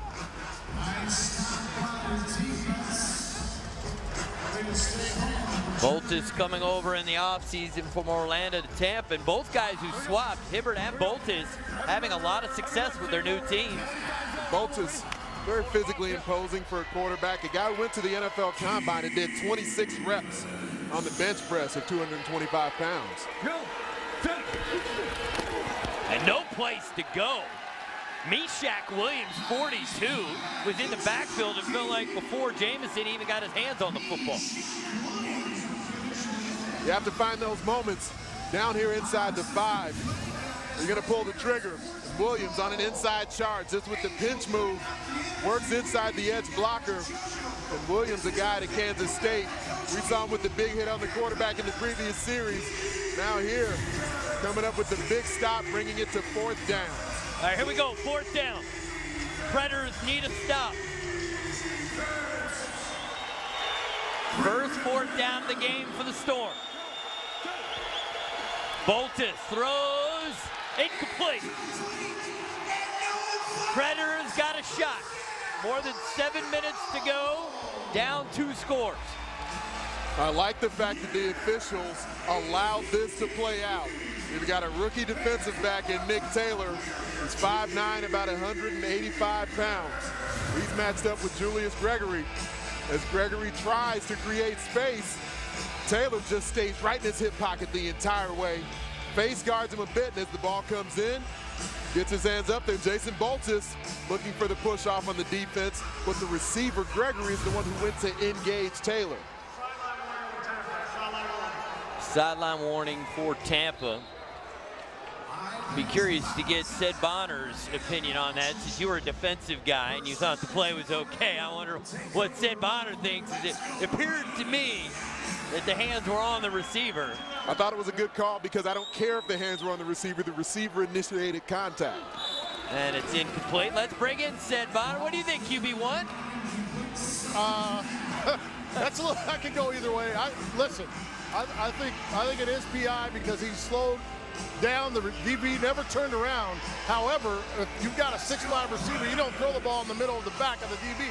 I'm going to put it on the QB on that one. Throw the ball up and allow your big guy to make a play. I agree with the last part of what Sid said. Okay. That's got, that's got to be a hashtag at some point this season. What Sid said. Oh, another drop. Now that's three drops that I've at least counted tonight. And two of them are ones you got to make the catch. Two of them have been from Kendall Tompkins opportunities to make plays.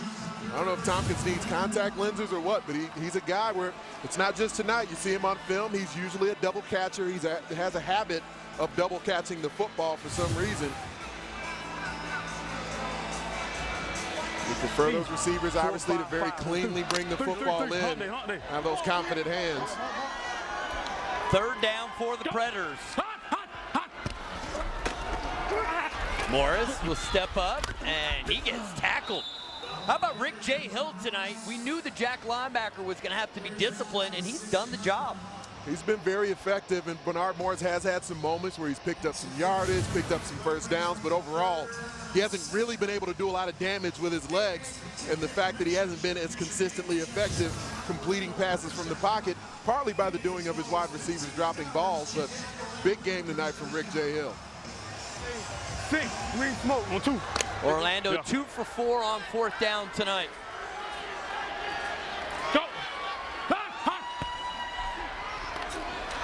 Morris going to throw. There was contact. Tompkins makes the spectacular catch. It will negate the defensive penalty. They'll decline it. And Orlando in business, first and goal at the nine. Apparently, Kendall Tompkins just needed the degree of difficulty to be raised a Pass bit more. 14 defense. That penalty is declined. Result of the play, first down. 35 yards on the play for Kendall Tompkins. Alfred Phillips did not make this easy on Kendall Tompkins. They run a bench route, eyes outside, well executed. Phillips pushes off. You're beyond five yards there. That's where the illegal contact comes in. And I don't mind Phillips doing that because you're trying to ensure that the receiver doesn't pick up a touchdown, so it's a flag, but the flag you'll take over a TD. Morris in trouble, loses the football, recovered by the Storm. The Tampa defensive line brings the pressure. Brandon Cisse gets in there, knocks the ball out. He'll get credit for the sack and the forced fumble. And Tampa gets the ball back.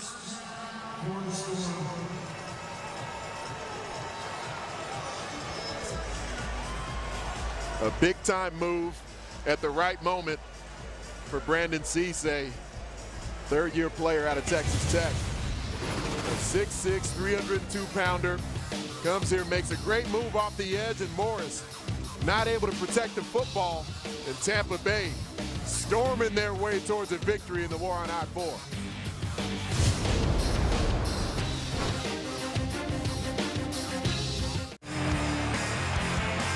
One of the great rivalries in the Arena Football League. Many would say the greatest rivalry in the Arena Football League. The war on I-4. Orlando and Tampa Bay separated by just 84 miles. It's a quote from the St. Pete Times. It's the fiercest rivalry in all of arena football, driven by an unmistakable dislike for each other, fueled by a series of incredible finishes and framed by a postseason history so rich that players on both sides have never hesitated to compare it to Auburn, Alabama, Ohio State, Michigan, or Green Bay, Chicago. What's so phenomenal is that, especially over the past five years or so, it's always been separated just by a game here or there, maybe two games tops, where Orlando or Tampa Bay just has that advantage. Boltus going for Ings over the top, dives but can't make the catch. Orlando's in danger here of losing four straight. Now, granted, when Randy Hippeard comes back, that will give a jolt to the team, and they've got other key guys missing. Larry Brackens didn't play tonight. And it is an 18-game season, and I, I don't think they're concerned about getting into the postseason. But it's certainly a low and a cause for concern for Predator Nation because this is a franchise since 91. All they do is have winning records and make the postseason. They had the longest streak in AFL history going for a while of consecutive postseason berths. 19 straight winning seasons. Go, set.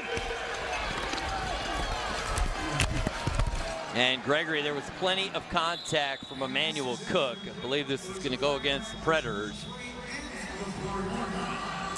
Cook was fine initially, but then Two fouls on the play, illegal contact, 26. Personal foul, roughing the passer. 10 yards, automatic first down. one of those two flags on Emmanuel Cook out of South Carolina. Played for Coach Spurrier. He contacted the receiver multiple times there. The initial contact was fine, but he got a little too handsy after that, continued to jostle.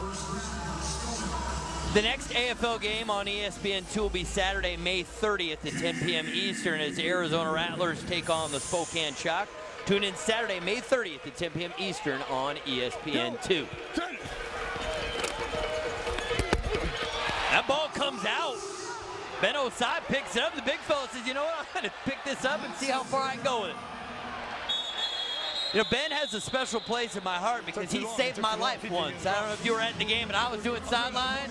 There was a turnover. I was running for my life and Ben picked me up like I was a six-year-old from the back of my pants and just lifted me into the bench area and saved me. Well, the walls are only four feet high, so I mean, for you, you know, you're not exactly statuesque, so it didn't take you. much for him to. That wasn't relevant to the story. It was Oh. about Ben. I- I And misinterpreted your Ben, point. yes, Ben saved me. He's a very big, powerful Yes. man, 6'6", Yes. 330. Just had just whenever there's a chance to take a shot at my shortness, you never never let it go. You, you teed it up, Wolf. Boltus TT Tolliver wants more, fighting for the football, and it's incomplete. You a little surprised they keep taking shots down the field here? No.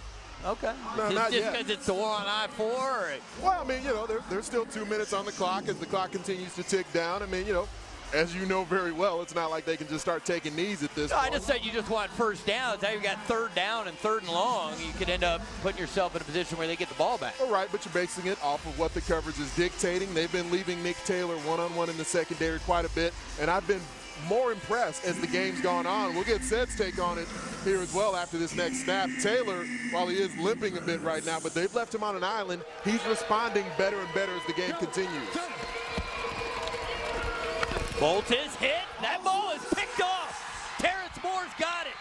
Terrence Moore, touchdown Predators.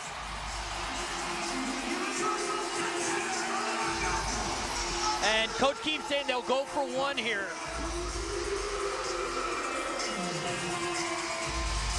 Well, it's Orlando and Tampa. They seem to manage to have close finishes no matter how most of the game goes.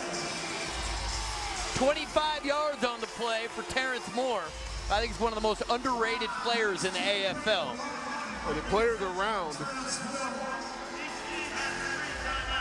the players around the AFL voted Terrence Moore as one of the top 50 players in the Arena Football League after last season. He certainly got the respect of his competitors. This is a huge extra point here to make it an eight-point game. He's got to deliver, and he does. So 55-47, one minute left. To keep in mind, the one-minute timing rules go into effect in the final minute. The arm got hit. Yep. Arm got hit. The ball just fluttered out. Terrence Moore, right place at the right time. One score game, Wolf. Final minute. In Yeah, the war on well, you always got to hang around with the AFL. You never know what's next. Rob keeps celebrating. We're coming back with the final 60 seconds. Welcome back. Exactly one minute to go in the fourth quarter. It is now a one-score game. Tampa in front 55-47. Orlando, they got to get the football back. So what is your strategy here, Mr. Herron? There's a minute remaining, so theoretically, you could kick the ball deep and give Tampa Bay an opportunity, give your defense a chance if you're Orlando to come up with the stop. I think Orlando should kick the onside kick right now, force this drive to come to a head more quickly. Seth, I'm curious for your thoughts. What do you think strategically right now? I, I agree strategically to onside. You want to keep them inside that red zone, not allow them to whittle the clock all the way down by just amassing a large drive, which is going to use a ton of clock. You want to force them to make tough plays in the red zone. It appears an onside kick is coming.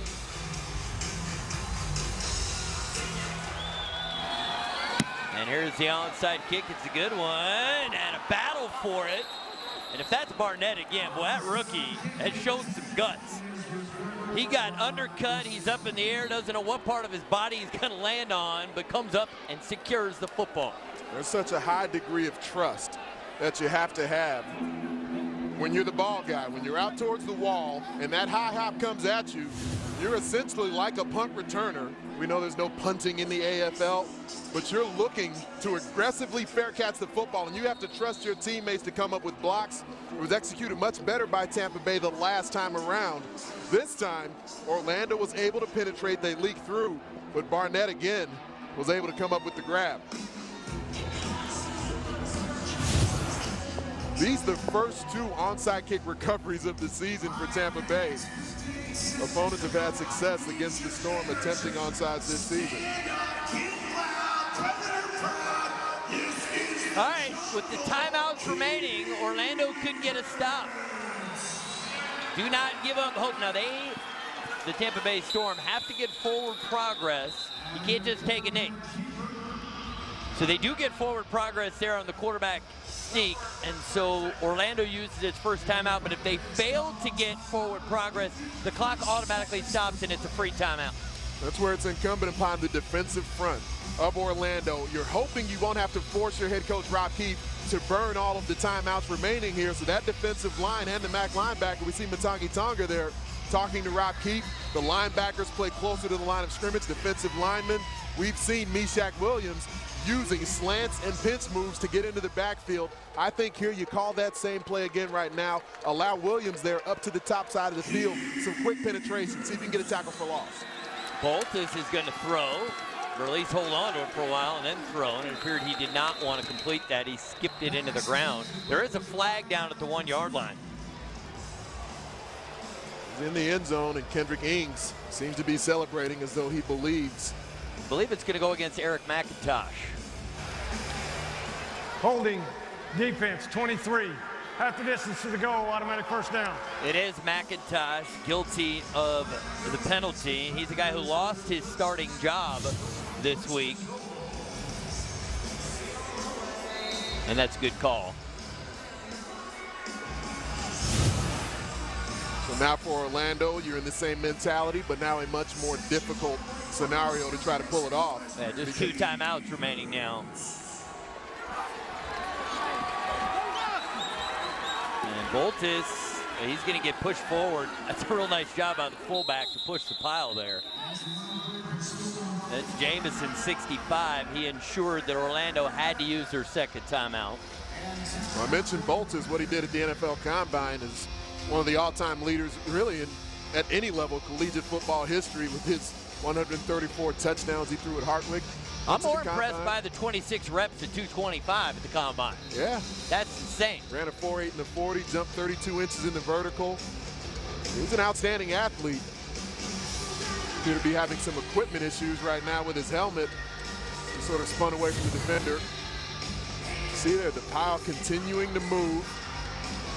Got a lot of big bodies there. You got big Alfred McCullough, a member of the Crimson Tide at the collegiate level.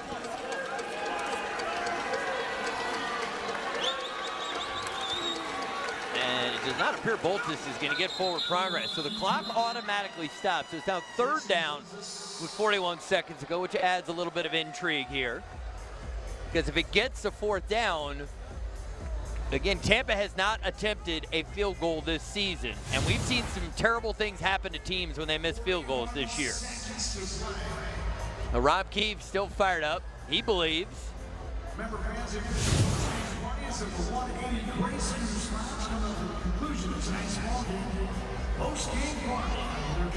Tampa on third down tonight, three for six.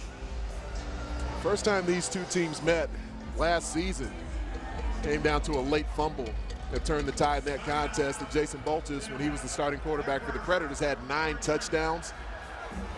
Can we bring Sid in here? I just, because I want to know what he would do here. I mean, Sid was big and physical like Jason Boltus. Would you try to the QB sneak again, or do you just run back a ways and then get rid of the football? I mean, what, what would you do here, Sid? We employed that technique to run back and throw. I might be a big guy, but I wasn't trying to get my head pulled off inside the pile. I wanted to play for a while, and doing that kind of stuff on a regular basis wasn't good for your body. Okay. But, but, the, but the problem with dropping back and throwing the football at this point, there's still 41 seconds Yep. in the game. Correct. So you've only got two snaps to actually try to pull that off. You're not going to be able to run enough time to run the whole game out. Or if you trust your quarterback, you go ahead and score a touchdown here. Make That's a certainly play. an option. Uh, Boltus is going to scramble and not get to the line of scrimmage. So Orlando still has one timeout. It's fourth down. So the question is, will Lawrence Samuels have confidence in Craig Peterson to attempt his first field goal of the season? And Anthony, it'll be his first ever field goal attempt. He's a rookie. So do you put it in the hands of the kicker? And again, we've seen some crazy stuff on missed field goals. Or do you just run a play here and try to score a touchdown? They are going to attempt the field goal. It's been an active night for Peterson. Saw him go down after taking a hit in one of the initial extra points he had earlier in the ball game. It'll be a 20-yard field goal attempt, the first in the career of the 29-year-old rookie kicker Craig Peterson, and Tampa uses the timeout. Orlando has had a number of close games here, especially as of late. Orlando, two overtime losses. The first one was up at Spokane. Morris. And here's the onside kick. It was a banged-up Predator squad that night where Rob Keefe went for the onside, a situation where maybe you normally wouldn't. And the following week against Cleveland, another 56 to 55 overtime loss. The Gladiators have been as great as anyone late. All right, here we go. Kick on the way, no good. And Tampa, there is a flag down on the play. So let's just wait and see here. This was after the change of possession. That's why you never give up on these AFL games. You never know. it's a short drive. There are fans here from Orlando with the Pred heads on in the stands.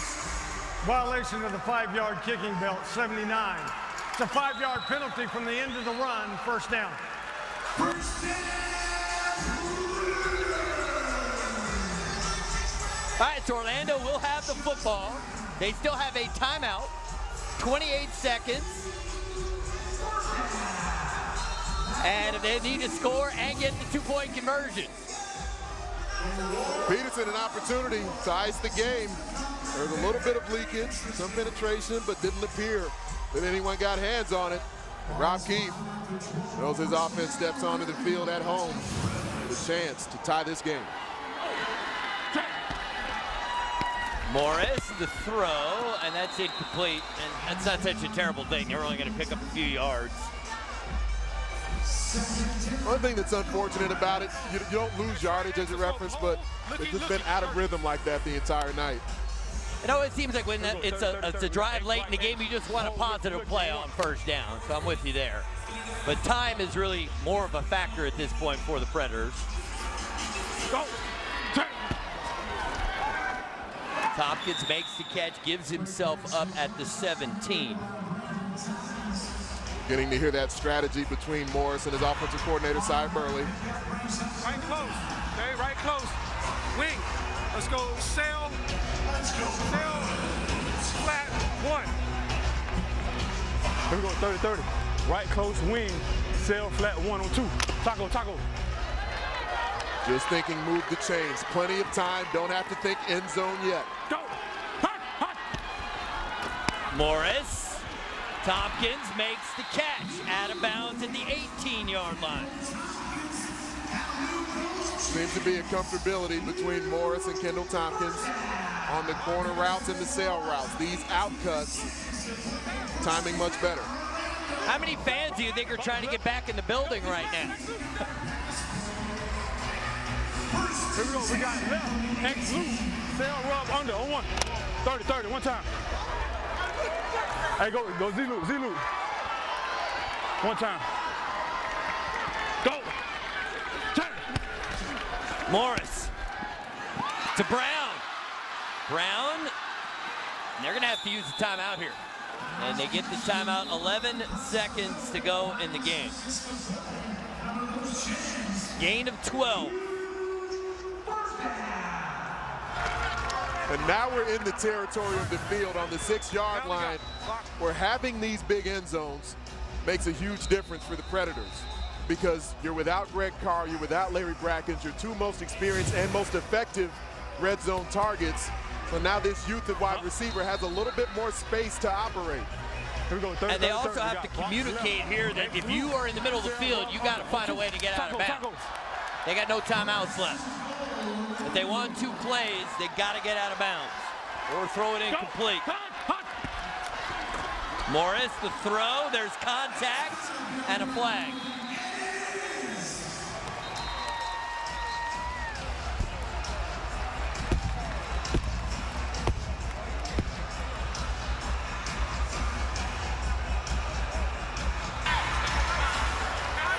Pass interference, one, defense. Clock operator, please put nine seconds on the clock. We'll go half the distance, automatic first down. Jackson on five, James Harrell. Got time for two plays here. You make the right play call. The penalty doesn't hurt you much, but they do need to put the time back on the clock. That's what Cy Burley's saying. And they do. They put the three seconds back on. The duck plank rule. That is correct.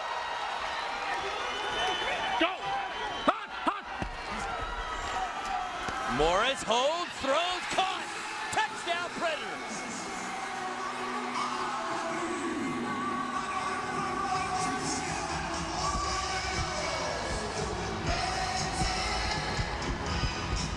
Orlando will go for two here. Attempt to tie the game. Honestly, passing game still looks out of rhythm to me. Bernard Morris held the football an extremely long time while Tompkins was open in the end zone. But once he finally cleared, threw an accurate enough ball for Tompkins to come up with the reception and the touchdown. Can Orlando come up with one more play to send us to overtime? Morris feels pressure, gets rid of it, caught! Game tied at 55!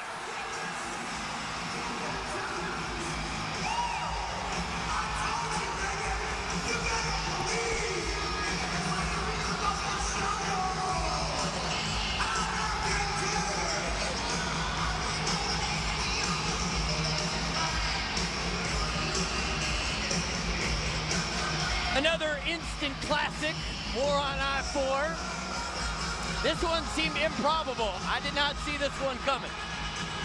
Orlando looked out of sync so much of the night, but they made plays down the stretch.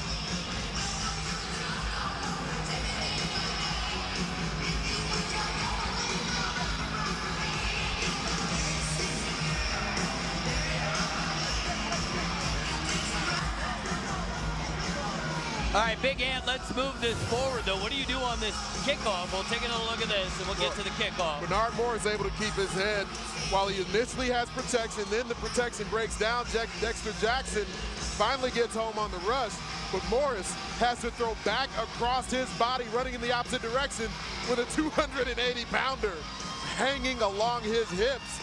But he knows with the game on the line, nearing cold crush depth, a play had to be made, and the new team captain, BMO, brought it home. All right, let's talk about this kickoff here because if you don't, if you're not smart here in Orlando, Tampa could at least attempt a long field goal with just a couple of seconds. Five seconds at enough time. If the guy gives himself up, what would you do here, Coach? Well, you've got Mark Lewis, who's been effective throughout his career at hitting the bar with the football. But I think here, as opposed to looking for a deep kick with a bar ball, you know, you can't count on the bar ball. So assuming it goes off the rebound net, you're giving Ings a chance to catch it cleanly. So I would squib kick the football. Squib kick it, it's going to fly through the front line. Well, that's the key, there. though, right? Is it's got to get through the front line, that squib kick. Because if they could somehow stop the squib kick and give themselves up, they would have a chance in excellent field position. It's going to be a difficult kick until you start. I mean, it's a difficult kick from wherever, but until you get across maybe the 20-yard line, pickings are slim. And it's a squib. And Phillips, it's touched. The clock's winding. And here we go. And Ings can't go anywhere. And there will be more football in Orlando tonight. Overtime is next.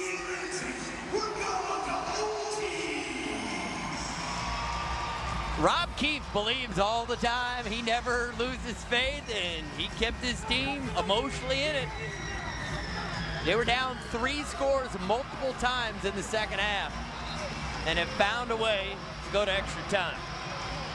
Rob Keefe out near midfield, pumping the crowd up here at the jungle, trying to make sure that the enthusiasm in the building maintains a fever pitch. You know, the enthusiasm of Rob Keefe always set to boil.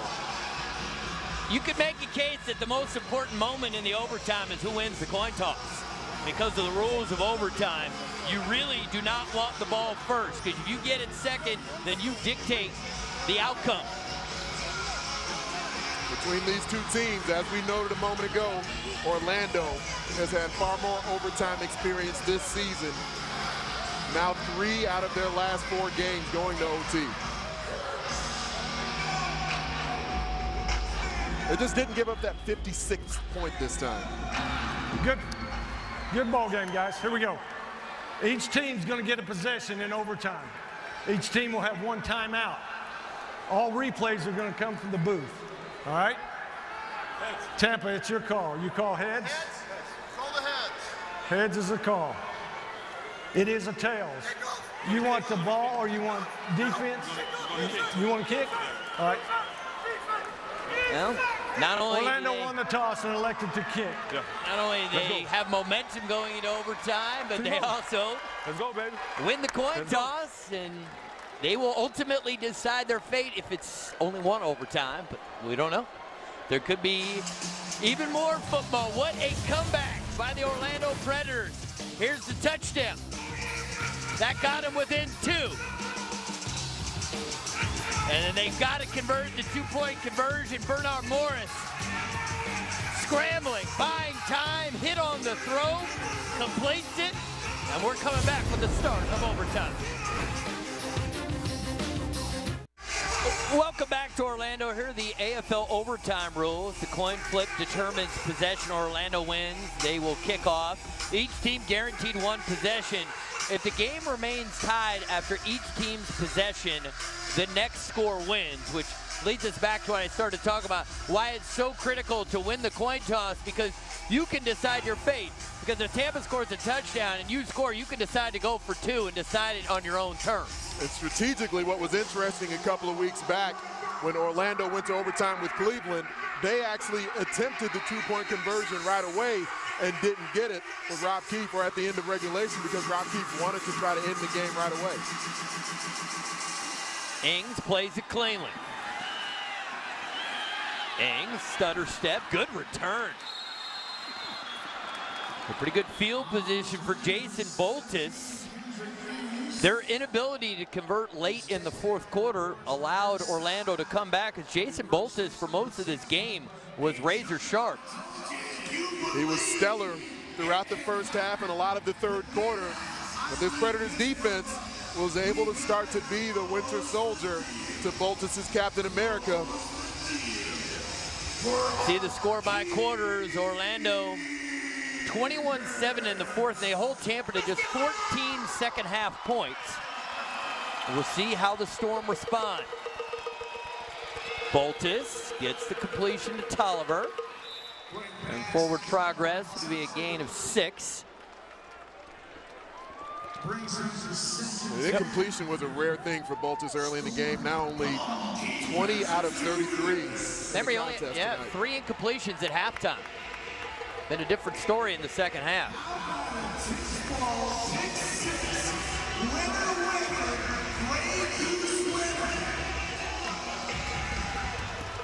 Uh, TT Toliver moved up to number two all-time in career receptions. Can he make a play here for the Storm? He's in motion. Boltus. And he was kind of falling off to his left as he released that football, and it wasn't on target looking for Gregory. There's been a few moments, especially in the second half, where Boltus hasn't seemed to be on the same page with his wide receivers. See now at this point, Nick Taylor, really had a big second half. Taylor off the field. They brought Eric McIntosh in, playing the middle. Taylor did appear to come up hobbled on one of those plays in the fourth quarter. Third down.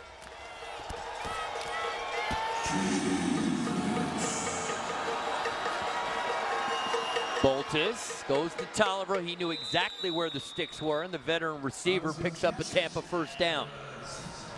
Gain of six on the play.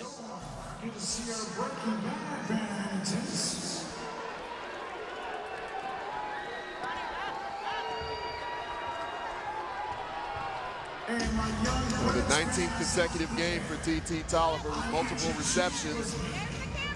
You know what's made him one of the all-time greats in both Tampa and Orlando history.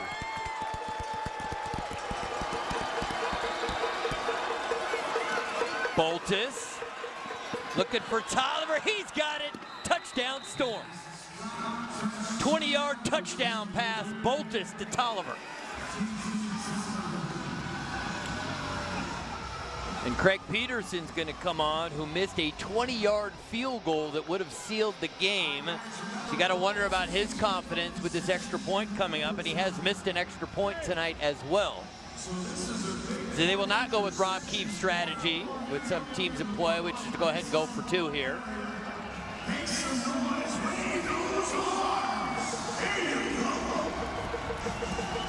See how the rookie kicker reacts.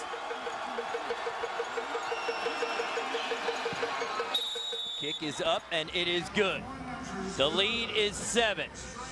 So now Orlando gonna have to draw it up offensively and get points, but let's take another look at the touchdown for Tampa. Toliver works his way up the boards, and he's always been so patient in his route running. You see there when the ball came out of the hands of Jason Boltus, T.T. Toliver hadn't even turned his back shoulder yet. That's a level of trust and timing between a quarterback and his big play wideout. Jason Boltus now eight touchdown passes on the night. T.T. Toliver has half of them. Four receiving touchdowns for T.T. on a night he will not forget. He certainly remembered quite a bit more fondly if his defense can come up with a stop. For Orlando, just revisit the strategy here in AFL overtime. With the Predators now receiving the football, their goal, of course, to go down, drive, and score a touchdown. But at that point, they will likely attempt a two-point conversion if they score a touchdown because you want to have the lead after each team has possessed the football once. If they were to kick an extra point in that scenario and they tie, the next point wins.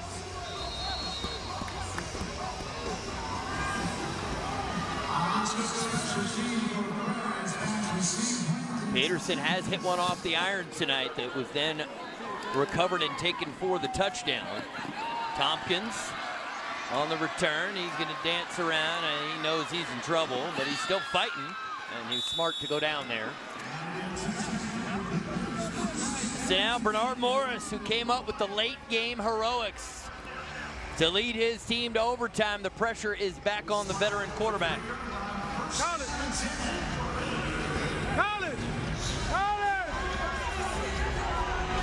Yelling for the college hash mark where they want the football. Wing, let's go. One, one, look. Here we go. Let's go, fellas. Left wing. One, one, looking on two. 30, 30, 30. Taco, taco, taco. You see hitch routes. Offensive line needs to do a good job getting the hands down of the pass rushers. Morris completes it, and it's Tompkins, and he holds on. Gain of seven, they get to the 10-yard line. One thing you got to factor, the Tampa defense spent a lot of time on the field in the fourth quarter, and it did appear at the end of regulation they were a little tired. Without a doubt, especially the pass rushers up front, not getting home as they were throughout the majority of the previous snaps in the game.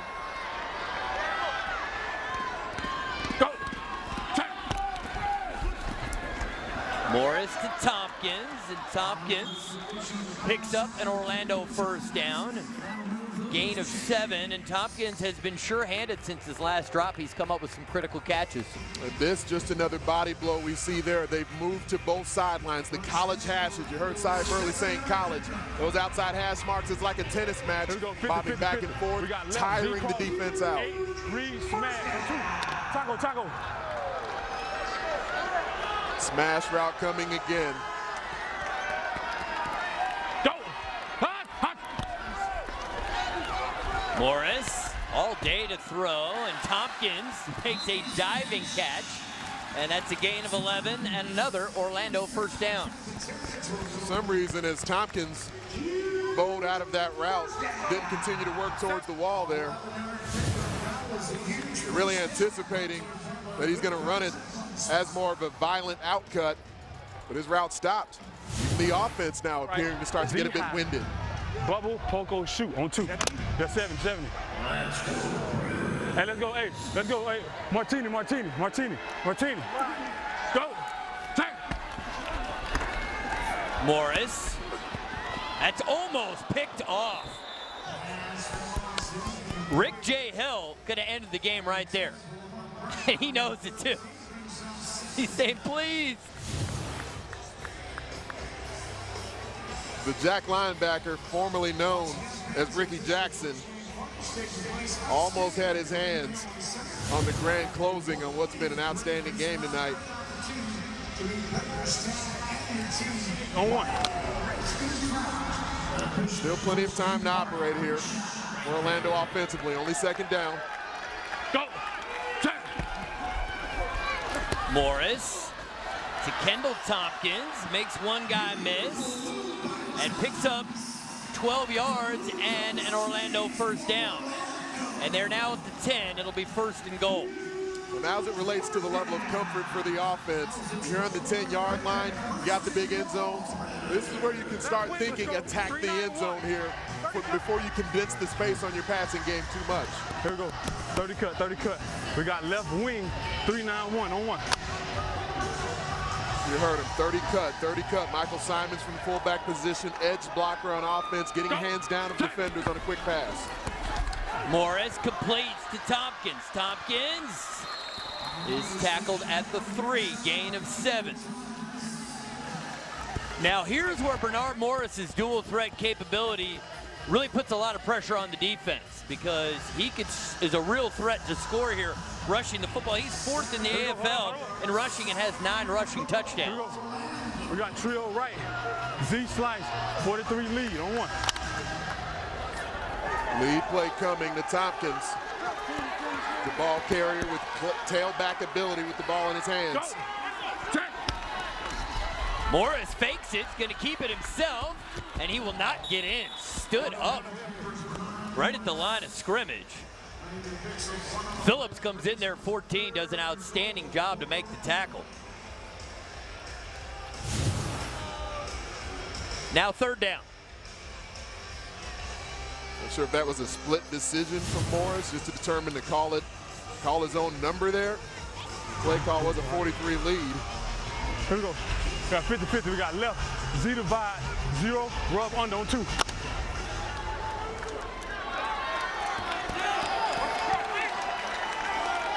Go! Hot, hot.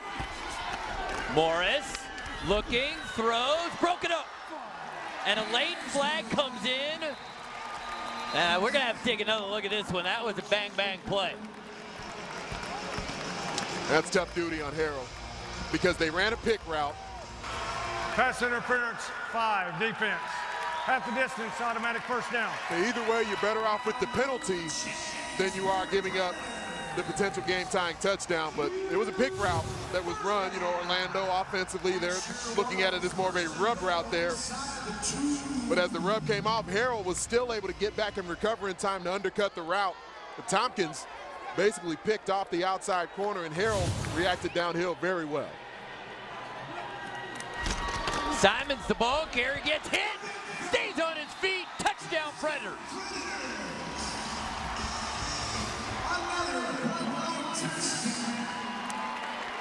Well, here we go. Decision time here. And it appears they will go for two. Their offensive unit staying on the field. And Tampa's going to use a timeout, I think, to just catch their breath.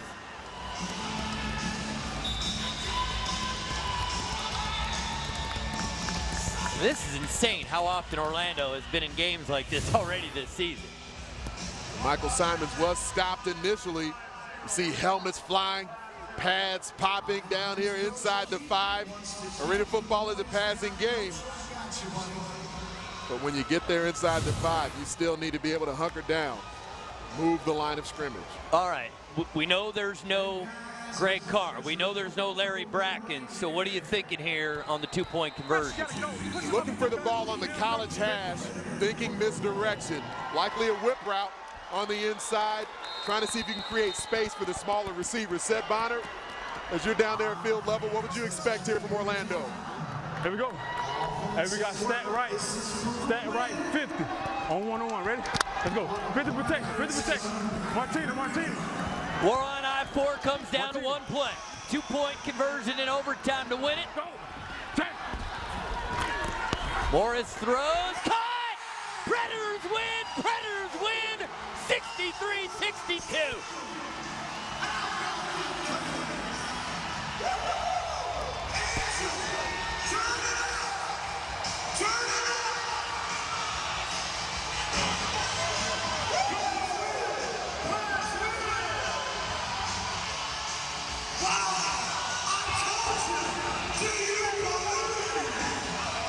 Well, they played 56 times, and this has to be up there with one of the great games in the War on I-4 history. I mean, it looked like Orlando was done many times in the second half, but they just kept on fighting and believing.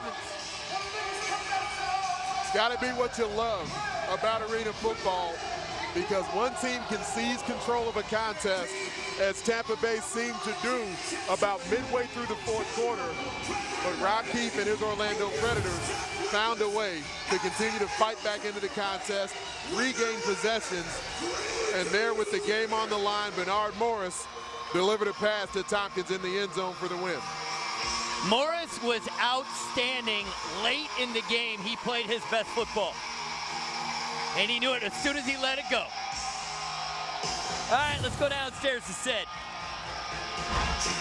Coach, unbelievable game. Uh, a year ago, a year ago, you guys went through the same type of thing down there. How do you keep this team believing? You're down 20. How do you keep them believing? It's all about heart. It's all about the man upstairs. It's all about heart. This team works so hard. The coaching staff works so hard. We get the best fans in the Arena Football League. We work hard at this. And that's why I'm an emotional. We, this is our life. Football is what we do, and these guys believe in themselves, and we had to go through a lot of pain and struggle to win this football game and to be 4 and 4 in the first in the South Division, and we're going to keep doing this. Appreciate it, Rob. Thanks, man. Guys. Uh, Rob Keefe. Ever since I met him in 2008, he's always been an emotional guy, and this was an emotional night. His team was on the verge of losing four straight. They were going to fall to three and five. They come back from 20 points down and win in overtime 63-62 and they had to have a late touchdown and a two-point conversion then a touchdown in overtime and a two-point conversion to get the one-point win. We've seen bernard morris throw the football much better than what we saw tonight. It's a passing game that with randy Hippeard out of the lineup for multiple weeks will still need to continue to make strides.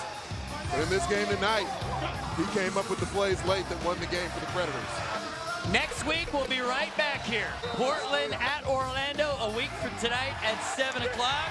On behalf of Anthony Herron and Sid Barr, our entire crew, I'm Ari Wolfe.